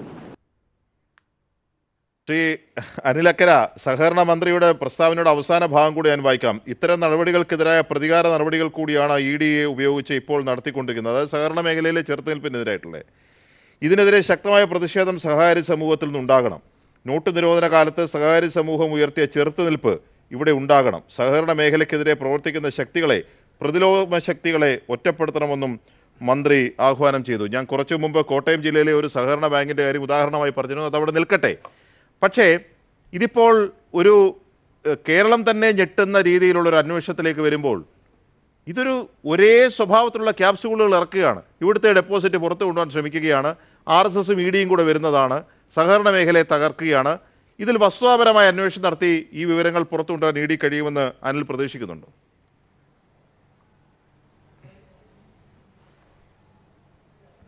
അല്ല ഇതിനകത്ത് ഞാനിന്ന് ഒരു കൃത്യമായൊരു പോസ്റ്റ് ഇട്ടിരുന്നു. കട്ടപ്പനയിലെ ഇന്നലെ റെയ്ഡ് നടന്ന എസ് ടി ജുവല്ലറിയുടെ ഉദ്ഘാടനവുമായി ബന്ധപ്പെട്ടുകൊണ്ട് തൃശ്ശൂരിലെ എം എൽ എ പി ബാലചന്ദ്രനും മന്ത്രി സുനിൽകുമാറും ആ ഉദ്ഘാടന ചടങ്ങിൽ പങ്കെടുത്തു. അത് ഉദ്ഘാടനം ചെയ്തത് അരവിന്ദ് മേനോനാണ് ബി ജെ പിയുടെ നേതാവ്. അപ്പോൾ അതിന്റെ രാഷ്ട്രീയം മനസ്സിലാക്കിയാൽ നിങ്ങൾക്ക് ഇന്ന് ഇന്നലെ റെയ്ഡ് നടന്ന ജ്വല്ലറിയാണ് എസ് ടി ജ്വല്ലറി എന്ന് പറയുന്നത്. ഈ എസ് ടി ജ്വല്ലറിയുടെ സുഹൃത്ത് ഇപ്പോൾ നമ്മൾ ഈ റെയ്ഡുമായി ബന്ധപ്പെട്ടുകൊണ്ട് ഫ്ലാഷ് ന്യൂസ് പോയിക്കൊണ്ടിരിക്കുകയാണ്. അവിടെ ഒരു ഒളിവിൽ പോയ അനിൽകുമാറിന്റെ കയ്യിൽ നിന്ന് പതിനഞ്ച് കോടി രൂപയുടെ നിക്ഷേപം ഇതുമായി ബന്ധപ്പെട്ട് കിട്ടിയിട്ടുണ്ട്. ഈ ആളേനെ എട്ട് വർഷമായി ഇയാൾ ഒളിവിലാണ്. ഇരിഞ്ഞാലക്കുട പോലീസിനെ കണ്ടുപിടിക്കാൻ കഴിഞ്ഞിട്ടില്ല. പിന്നെ ക്രൈംബ്രാഞ്ചിനെ കണ്ടുപിടിക്കാൻ കഴിഞ്ഞിട്ടില്ല. ഇ ഡി അയാളുടെ വീട്ടിൽ നിന്നും റെയ്ഡ് നടത്തി രേഖകൾ എടുത്തു. ഞാൻ കൃത്യമായി പറയുന്നു അനൂപ് സി അനൂപ് സി കാട എന്ന് പറയുന്ന തൃശ്ശൂർ കോർപ്പറേഷൻ കൗൺസിലർ ബോംബെയിൽ ചെല്ലുമ്പോൾ ഇന്നലത്തെ എന്റെ പോസ്റ്റാണ്. അവിടെ ഇദ്ദേഹത്തിന്റെ ആഡംബര വീടുകളിലും ഇദ്ദേഹത്തിന്റെ ഫ്ലാറ്റിലും അദ്ദേഹത്തിന്റെ ഫ്ലാറ്റിലും ഇദ്ദേഹത്തിന്റെ കാറും ഉപയോഗിക്കുന്ന ഒരാളാണ്. ഇത് തൃശ്ശൂരിലെ എല്ലാ ആളുകൾക്കും അറിയാം. ഇത് മുഴുവൻ ആളുകൾക്കും അറിയാം. ബി ജി ഇതുമായി ബന്ധപ്പെട്ടുകൊണ്ട് മുഴുവൻ എവിഡൻസുകളും വന്നുകൊണ്ടിരിക്കുകയാണ്. ഈ കട്ടപ്പനയിൽ ഉള്ള ഉദ്ഘാടനത്തിന്റെ ഇത് ഇന്നലെ നമുക്ക് തരികയാണ്. ഈ ഈ പറയുന്ന നിങ്ങൾ ഇന്നിപ്പോൾ പോയിക്കൊണ്ടിരിക്കുകയാണ്. ഈ സതീഷ് കുമാറിന്റെ ഏറ്റവും അടുത്ത അനുയായി അനിൽകുമാറിന്റെ പതിനഞ്ച് കോടി രൂപയുടെ രേഖകളാണ് ഇ ഡി പിടിച്ചെടുത്തത്. അദ്ദേഹത്തിന്റെ വീട്ടിൽ നടത്തിയ റെയ്ഡാണ്. വീടിന്റെ സ്ഥലം ആളുകൾ മാറി മാറി പറയുകയാണ്. എനിക്ക് കൃത്യമായി ആ വീട് എവിടെയാണെന്ന് അറിയാം. കൃത്യമായി അതിന്റെ ഇൻഫർമേഷൻ കൊടുക്കേണ്ട ആൾക്ക് കൊടുത്തിട്ടുണ്ട്. ഇനി ഇതിന്റെ അന്വേഷണവുമായി ബന്ധം ഇയാളെ പിടിക്കലാണ്. ഇയാൾക്ക് ചില ശാരീരികമായ ചില അസുഖങ്ങൾ വന്നിരുന്ന ഒരാളാണ്. അപ്പോൾ ഇത്തരത്തിലുള്ള വിഷയങ്ങൾ തൃശ്ശൂർ ജില്ലയിലെ തൃശ്ശൂരുമായി ബന്ധമുള്ള മുഴുവൻ സ്ഥലത്തെയും ആളുകൾക്ക് ഇൻഫർമേഷനായി കിട്ടുമ്പോൾ ഇവിടെ ഇടി പിന്നെ ക്രൈംബ്രാഞ്ചിന് കിട്ടുന്നില്ല. മറ്റേ ആൾ പോലീസിന് കിട്ടുന്നില്ല എന്ന രസകരമായ കാര്യം. ഈ കണ്ണനുമായി ബന്ധപ്പെട്ടുകൊണ്ട് ഈ സി പി എമ്മിന്റെ അരുൺകുമാർ ഇവിടെ ഇരിക്കുന്നുണ്ടല്ലോ. അദ്ദേഹം പറയാം അവരുടെ പാർട്ടിയുടെ കാര്യമാണെന്നൊക്കെ പറയാം. ഇവിടെ കണ്ണനുമായി ബന്ധപ്പെട്ടുകൊണ്ടുള്ള എം കെ കണ്ണന്റെ ബാങ്കിൽ നടന്ന ക്രമക്കേടുകൾ ഏത് കാലത്തേതാണ്? എന്തിനാണ് വെറുതെ ഈ ഈ കാലഘട്ടവുമായി ബന്ധപ്പെടുത്തി പറയുന്നത്? അത് യു ഡി എഫ് ഭരിച്ചിരുന്ന കാലഘട്ടത്തിലാണ്. ഞാൻ കേരള പ്രദേശ് കോൺഗ്രസ് കമ്മിറ്റിയുടെ നിർവാഹക സമിതിയും എ ഐ സി സി അംഗവുമാണ്. ഞാൻ ഉത്തരവാദിത്വത്തോടു കൂടി തന്നെയാണ് പറയുന്നത്. ഞാൻ അന്ന് പഞ്ചായത്ത് പ്രസിഡന്റായിരിക്കുന്ന കാലത്ത് പത്രസമ്മേളനം നടത്തി പറഞ്ഞതാണ് എം കെ കണ്ണൻ എന്ന് പറയുന്ന രാഷ്ട്രീയ നേതാവ് അദ്ദേഹം ഈ മുന്നണി എടുക്കാൻ പറ്റുന്ന ഒരാളല്ല. അദ്ദേഹത്തിന്റെ സ്വഭാവങ്ങൾ ഇതുമായി ബന്ധപ്പെട്ടുള്ളതല്ല. ഇവിടെ സഹകരണ ബാങ്കുകളിൽ സി പി എമ്മിന്റെ സഹകരണ ബാങ്കുകളിൽ എം കെ കണ്ണൻ ഒഴിച്ച് മൂന്ന് ടേമിൽ കൂടുതൽ ഡയറക്ടർമാരും പ്രസിഡന്റുമാരുമായ ആളുകൾ എത്രയുണ്ട്? ഒന്ന് കാണിച്ചു തരട്ടെ. അവരുടെ പാർട്ടിയുടെ കാര്യമാണ്. സി പി എമ്മിന്റെ കാര്യം പാർട്ടിയുടെ കാര്യമാണെന്ന് പറഞ്ഞു കഴിയാൻ കഴിയില്ല. അത് കമ്മ്യൂണിസ്റ്റ് പാർട്ടിയാണ്. നമ്മൾ ചോദ്യം ചെയ്യും. എനിക്ക് താല്പര്യമുള്ള പാർട്ടിയായിരുന്നു. അതിൽ തർക്കമുള്ള കാര്യമൊന്നുമല്ല. ഈ കണ്ണൻ തൊണ്ണൂറ്റിയഞ്ചിൽ കേരളത്തിലെ ഏറ്റവും അവസാനത്തെ സർവീസ് സഹകരണ ബാങ്കാണ്. തൃശൂർ സർവീസ് സഹകരണ ബാങ്ക് എന്ന് പറയുന്നത്. എന്താണ് അതിന്റെ കാരണം? സുപ്രീം കോടതിയുടെ ഉത്തരവ് വന്നു. ഇനി സർവീസ് സഹകരണ ബാങ്കുകൾ കേരളത്തിൽ അനുവദിക്കരുത്. സഹകരണ സംഘങ്ങൾ മാത്രമേ അനുവദിക്കാവൂ. ബാങ്കുകൾ എന്ന പേരുകൾ ഇനി ഉപയോഗിക്കരുത് എന്ന് പറഞ്ഞപ്പോൾ എം പി രാഘവൻ അവസാനമായി ഒപ്പിട്ട് കൊടുത്ത ബാങ്കാണ് തൃശൂർ സർവീസ് സഹകരണ ബാങ്ക്. തൊണ്ണൂറ്റിയഞ്ചിന് ശേഷം തൊണ്ണൂറ്റിയഞ്ച് കഴിഞ്ഞ് രണ്ടായിരം കഴിഞ്ഞ് രണ്ടായിരത്തി ഇരുപത്തിനാലാവാൻ പോവുകയാണ്. മുപ്പത് വർഷക്കാലം സി പി എമ്മിൽ ഇപ്പോൾ സംസ്ഥാന കമ്മിറ്റി അംഗമായ ഒരാൾ സഹകരണ ബാങ്കിന്റെ പ്രസിഡന്റ് ആയിരിക്കുന്നു മറ്റൊരു സംഘത്തിന്റെ പ്രസിഡന്റ് ആയിരിക്കുന്നു. ഈ കഴിഞ്ഞ ഗവൺമെന്റ് കാലത്ത് കഴിഞ്ഞ ഗവൺമെന്റ് കാലത്ത് വിരിപ്പാക്ക സ്പിന്നിംഗ് മില്ലിലെ ചെയർമാൻ ആയിരിക്കുന്നു. എല്ലാ പദവിയും ഒരുമിച്ച് കിട്ടുന്ന എങ്ങനെയാണ്? അത് C M P C P എമ്മിലേക്ക് ലയിച്ചപ്പോൾ ഈ ഭാഗം വെച്ച് കൊടുത്തതാണോ? അത് മറുപടി പറയേണ്ടത് സി പി എം ആണ്. കാരണം സി പി എമ്മിന്റെ പാർട്ടി കാര്യമാണ്. പക്ഷേ എന്തുകൊണ്ട് നിങ്ങൾക്ക് കണ്ണനെ തൃശൂർ സർവീസ് സഹകരണ ബാങ്കിന്റെ ഡയറക്ടർ ബോർഡ് മാറ്റാൻ കഴിയുന്നില്ല? ആ ഡയറക്ടർ സി പി എമ്മിന്റെ സംസ്ഥാന കമ്മിറ്റി അംഗം പ്രസിഡന്റായ ബാങ്കിൽ എത്ര ആളുകൾ സി പി എംകാരായ മെമ്പർമാരായ ആളുകളുണ്ട്? അത് സഹകാരി നിയമവും സഹകാരി കാര്യങ്ങളൊക്കെ നിങ്ങൾക്ക് പറയാൻ കഴിയും. ഞാൻ പറയുന്നത് ഇ ഡി അന്വേഷണം തൃശൂർ സർവീസ് സഹകരണ ബാങ്കിൽ നടക്കുന്ന കാര്യത്തിൽ നിങ്ങൾ സംശയിക്കേണ്ട കാര്യമില്ല. തൊണ്ണൂറ്റി ഒമ്പത് വരെയുള്ള കണ്ണൻ യു ഡി എഫിന്റെ കാലത്തിരുന്ന കാലത്ത് അഴിമതിയാണ്. എനിക്ക് എന്റെ കയ്യിൽ കൃത്യമായ രേഖകളുണ്ട്. അവിടെ നടക്കുന്നത് എന്താണ്? അവിടെ നടക്കുന്നത് കണ്ണൻ റിയൽ എസ്റ്റേറ്റ് ബ്രോക്കർമാരുമായി ബന്ധപ്പെട്ടുകൊണ്ട് അവിടെ ഭൂമി വാങ്ങുന്ന ആളുകൾക്ക് അവിടെ ലോൺ കൊടുക്കുകയാണ്. ലോൺ കൊടുത്തതിന് ശേഷം ആ അത് അവിടെ തന്നെ ജപ്തി ചെയ്യാൻ. ആ ജപ്തി ചെയ്യാനുള്ള ആളുകളെ അവിടെ തയ്യാറാക്കിയാൻ. രണ്ടോളം രണ്ടിലധികം ആളുകൾ. അവിടെ ബിനാമിയായി നിന്ന ആളുകൾ. അവിടെ ജപ്തി നടപടി ഭാഗമായി എന്റെ നിയോജനമായ വടക്കാഞ്ചേരിയിലെ മുണ്ടൂർ പ്രദേശത്തെ സാധാരണക്കാരായ രണ്ടാളുടെ വീട് ജപ്തിയിൽ നിൽക്കുകയാണ് തൃശൂർ സർവീസ് സഹകരണ ബാങ്കുമായി ബന്ധപ്പെട്ടുകൊണ്ട്. അതിന്റെ ഡോക്യുമെന്റുകളും അതിന്റെ നിയമപരമായ നടപടികൾക്ക് ഞാൻ പോവുകയാണ്. എന്റെ കയ്യിൽ ഈ ബാങ്കുകളുമായി തൃശ്ശൂരിലെ പത്ത് സി ബാങ്കുകൾ നൂറ്റി ഇരുപതോളം പരാതികൾ ഈ ഈ ഈ ബിനാമി ഇടപാടുകളുമായി ബന്ധപ്പെട്ടുകൊണ്ട് കിട്ടിയിരിക്കുകയാണ്. അതൊക്കെ സി പി എമ്മായി ബന്ധപ്പെട്ട പരാതികളാണ്. എല്ലാം പക്ഷേ ഒരു കാര്യമുണ്ട് താങ്കൾ ഈ വിഷയത്തിൽ വിട്ടുവീഴ്ച ചെയ്യാതെ ഫൈറ്റ് ചെയ്യുന്ന ഒരു. പൊതുപ്രവർത്തകനാണ്. ഞാനത് അംഗീകരിക്കുന്നു. താങ്കളുടെ നിലപാടുകൾക്ക് വേണ്ടിയിട്ട്. പക്ഷെ അതേസമയം തന്നെ ഈ നോട്ട് നിരോധന കാലത്ത് ഈ സഹകരണ ഉത്തരവാദിത്ത നിയമം കൊണ്ടുവരുന്ന സമയത്ത് ഒന്നെങ്കിൽ ഇത് സൊസൈറ്റിയായി പ്രവർത്തിക്കണം അല്ലെങ്കിൽ ബാങ്കായി പ്രവർത്തിക്കണം. പുതിയ നിയമത്തിന് കീഴ്പ്പെടണമെന്ന് പറഞ്ഞപ്പോൾ കേരളത്തിൽ യു ഡി എഫും എൽ ഡി എഫും ഒരേപോലെ അതിനെതിരെ ശക്തമായി രംഗത്ത് വന്നു. അതിന് കാരണം കേരളത്തിന്റെ സാമൂഹ്യ സമ്പദ് വ്യവസ്ഥ തന്നെ നിലനിർത്തുന്ന സഹകരണ സംഘങ്ങളാണ് എന്നുള്ളത് കൊണ്ടാണ്. അതിലൊരു പരിധിവരെ ശരിയുമുണ്ട്. ഇപ്പോൾ സംസ്ഥാന മുഖ്യമന്ത്രിയും സംസ്ഥാന സഹകരണ മന്ത്രിയുമൊക്കെ അതേ നാണയത്തിൽ നിങ്ങളുടെ മുമ്പിലേക്ക് ആ തുറുപ്പ് ചീട്ട് നീട്ടുകയാണ്. നിങ്ങൾ ആ ചൂണ്ടയിൽ കുത്തുമോ? അതോ ക്രമക്കേട് പുറത്തു കൊണ്ടുവരികയും ഇനിയൊരു സഹകരണ സംഘത്തിലും ക്രമക്കേട് ഉണ്ടാകാതിരിക്കാനുള്ള ശക്തമായൊരു പൊളിറ്റിക്കൽ പൊസിഷൻ എടുക്കുമോ എന്നുള്ളതാണ് കാത്തിരുന്ന് കാണുന്നത്. കിരൺകുമാർ ഈ രണ്ടായിരത്തി ഇരുപത്തിരണ്ട് ഓഗസ്റ്റിന് ശേഷം ഒരു വർഷത്തോളം കാര്യമായി ഇ ഡി ഇതിലൊന്നും ചെയ്തില്ല. പിന്നീടാണ് അവർ സജീവമായി മുന്നോട്ട് വന്നതെന്നൊരു പ്രതീതിയുണ്ട് നമുക്ക് പുറത്ത്. പക്ഷേ ഞാൻ മനസ്സിലാക്കുന്ന ഒരു വർഷത്തോളം അവർ ഇതിലെ പ്രധാനപ്പെട്ട ആൾക്കാരെയൊക്കെ ഏതാണ്ട് ഒരു സർവൈലൻസ് ലിസ്റ്റിൽ ഇട്ടിരിക്കുകയായിരുന്നു അപ്പോൾ പ്രധാനപ്പെട്ട ഫോൺ രേഖകളുണ്ട് ജിജോർ അടക്കമുള്ളവരുടെ മൊഴിയുണ്ട്. ഇതൊക്കെ ഇപ്പോൾ നമുക്ക് പുറത്തു വരുന്ന വിവരം അനുസരിച്ചാണെങ്കിൽ എ സി മൊയ്തീൻ എന്ന സി പി എമ്മിലെ ഏറ്റവും പ്രമുഖനായ നേതാവിന് എതിരാണ്. സി പി എം അതിനെ രാഷ്ട്രീയമായി ഭയക്കുന്നുണ്ടോ?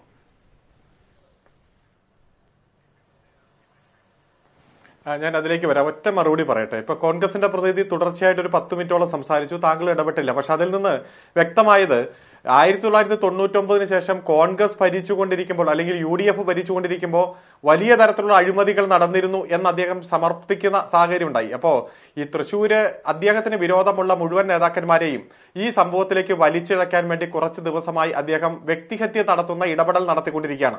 തെളിവുകളുടെ അകമ്പടിയോടെ സംസാരിക്കാം. പക്ഷേ അങ്ങയ്ക്ക് വിരോധമുള്ളവരെ മുഴുവൻ ഈ വിഷയത്തിലേക്ക് വലിച്ചിഴക്കാൻ ശ്രമിക്കല്ലേ എന്നതാണ് എനിക്ക് സൂചിപ്പിക്കാനുള്ളത്. മറ്റങ്ങ് ചോദിച്ച ചോദ്യം. ഇവിടെ ഒരു തരത്തിലും സി പി എം ഭയക്കുന്നില്ല. ഇപ്പൊ കേന്ദ്ര ഇൻവെസ്റ്റിഗേഷൻ ഏജൻസി രാഷ്ട്രീയ വിരോധത്തിന്റെ ഭാഗമായി കള്ളക്കേസിൽ കൊടുക്കുകയോ ജയിലിലടക്കുകയോ ചെയ്താൽ അതിനെയെല്ലാം നേരിടാനുള്ള കരുത്ത് നമ്മുടെ പ്രസ്ഥാനത്തിനുണ്ട് ഞങ്ങളുടെ പ്രസ്ഥാനത്തിനുണ്ട്. അത് തന്നെയാണ് ശ്രീ എ സി മൊയ്തീൻ പറഞ്ഞത്. ഇവിടെ ക്രൈംബ്രാഞ്ച് ഏറ്റവും എഫക്റ്റീവ് ആയിട്ടുള്ള ഇൻവെസ്റ്റിഗേഷൻ നടത്തി മുന്നോട്ട് പോകുമ്പോൾ രണ്ടായിരത്തി ഇരുപത്തിരണ്ട് ഓഗസ്റ്റ് മാസത്തിൽ തന്നെ ഇതിന്റെ പ്രധാനപ്പെട്ട ഫയലുകൾ മുഴുവൻ ഇ ഡി കളക്ട് ചെയ്യുകയാണ്. അതുകൊണ്ട് എ ആർ സി കേസുകളുമായി മുന്നോട്ട് പോകുവാനോ ഏതെങ്കിലും തരത്തിൽ ഒപ്പുകൾ പരിശോധിക്കാൻ ഫോറൻസിക് പരിശോധനയ്ക്ക് വിടുവാനോ ആ കേസിന്റെ കുറ്റപത്രം സമർപ്പിക്കാൻ പാകത്തിനുള്ള തെളിവുകൾ കളക്ട് ചെയ്യാൻ ക്രൈംബ്രാഞ്ചിന് കഴിയുന്നില്ല എന്ന ഗൗരവമായ പ്രശ്നമാണ് ഇപ്പോൾ ക്രൈംബ്രാഞ്ച് അഭിമുഖീകരിക്കുന്നു അതിപ്പോൾ മാത്രം ഇതിലെ ഉയർന്നു വന്ന വാദമാണ്. നിയമപരമായി ശിക്ഷിക്കണം മാതൃകാപരമായ അന്വേഷണം. തുടങ്ങിയപ്പോൾ മാത്രം മാതൃകാപരമായ അന്വേഷണം. ഇപ്പൊ- അല്ല അല്ലല്ല കണയന്നൂർ അല്ലല്ല കണയന്നൂർ ബാങ്കിന്റെ രണ്ട് മുറി തന്നെ രണ്ടായിരത്തി ഇരുപത്തിരണ്ട് ഓഗസ്റ്റ് മാസം മുതൽ ഇതിലെ പ്രധാനപ്പെട്ട രേഖകൾ സൂക്ഷിക്കാൻ വേണ്ടി ലോക്ക് ചെയ്ത് ഇ ഡി ഉപയോഗിച്ചു കൊണ്ടിരിക്കുകയായിരുന്നു. അതുകൊണ്ട് രണ്ട് ഓക്കെ അല്ല അത് പോട്ടെ സതീശനെ അടക്കം ഇതിന്റെ ഇതിന്റെ മർമ്മം തൊട്ടില്ല. ഇതിന്റെ മർമ്മം തൊട്ടില്ല ക്രൈംബ്രാഞ്ച്.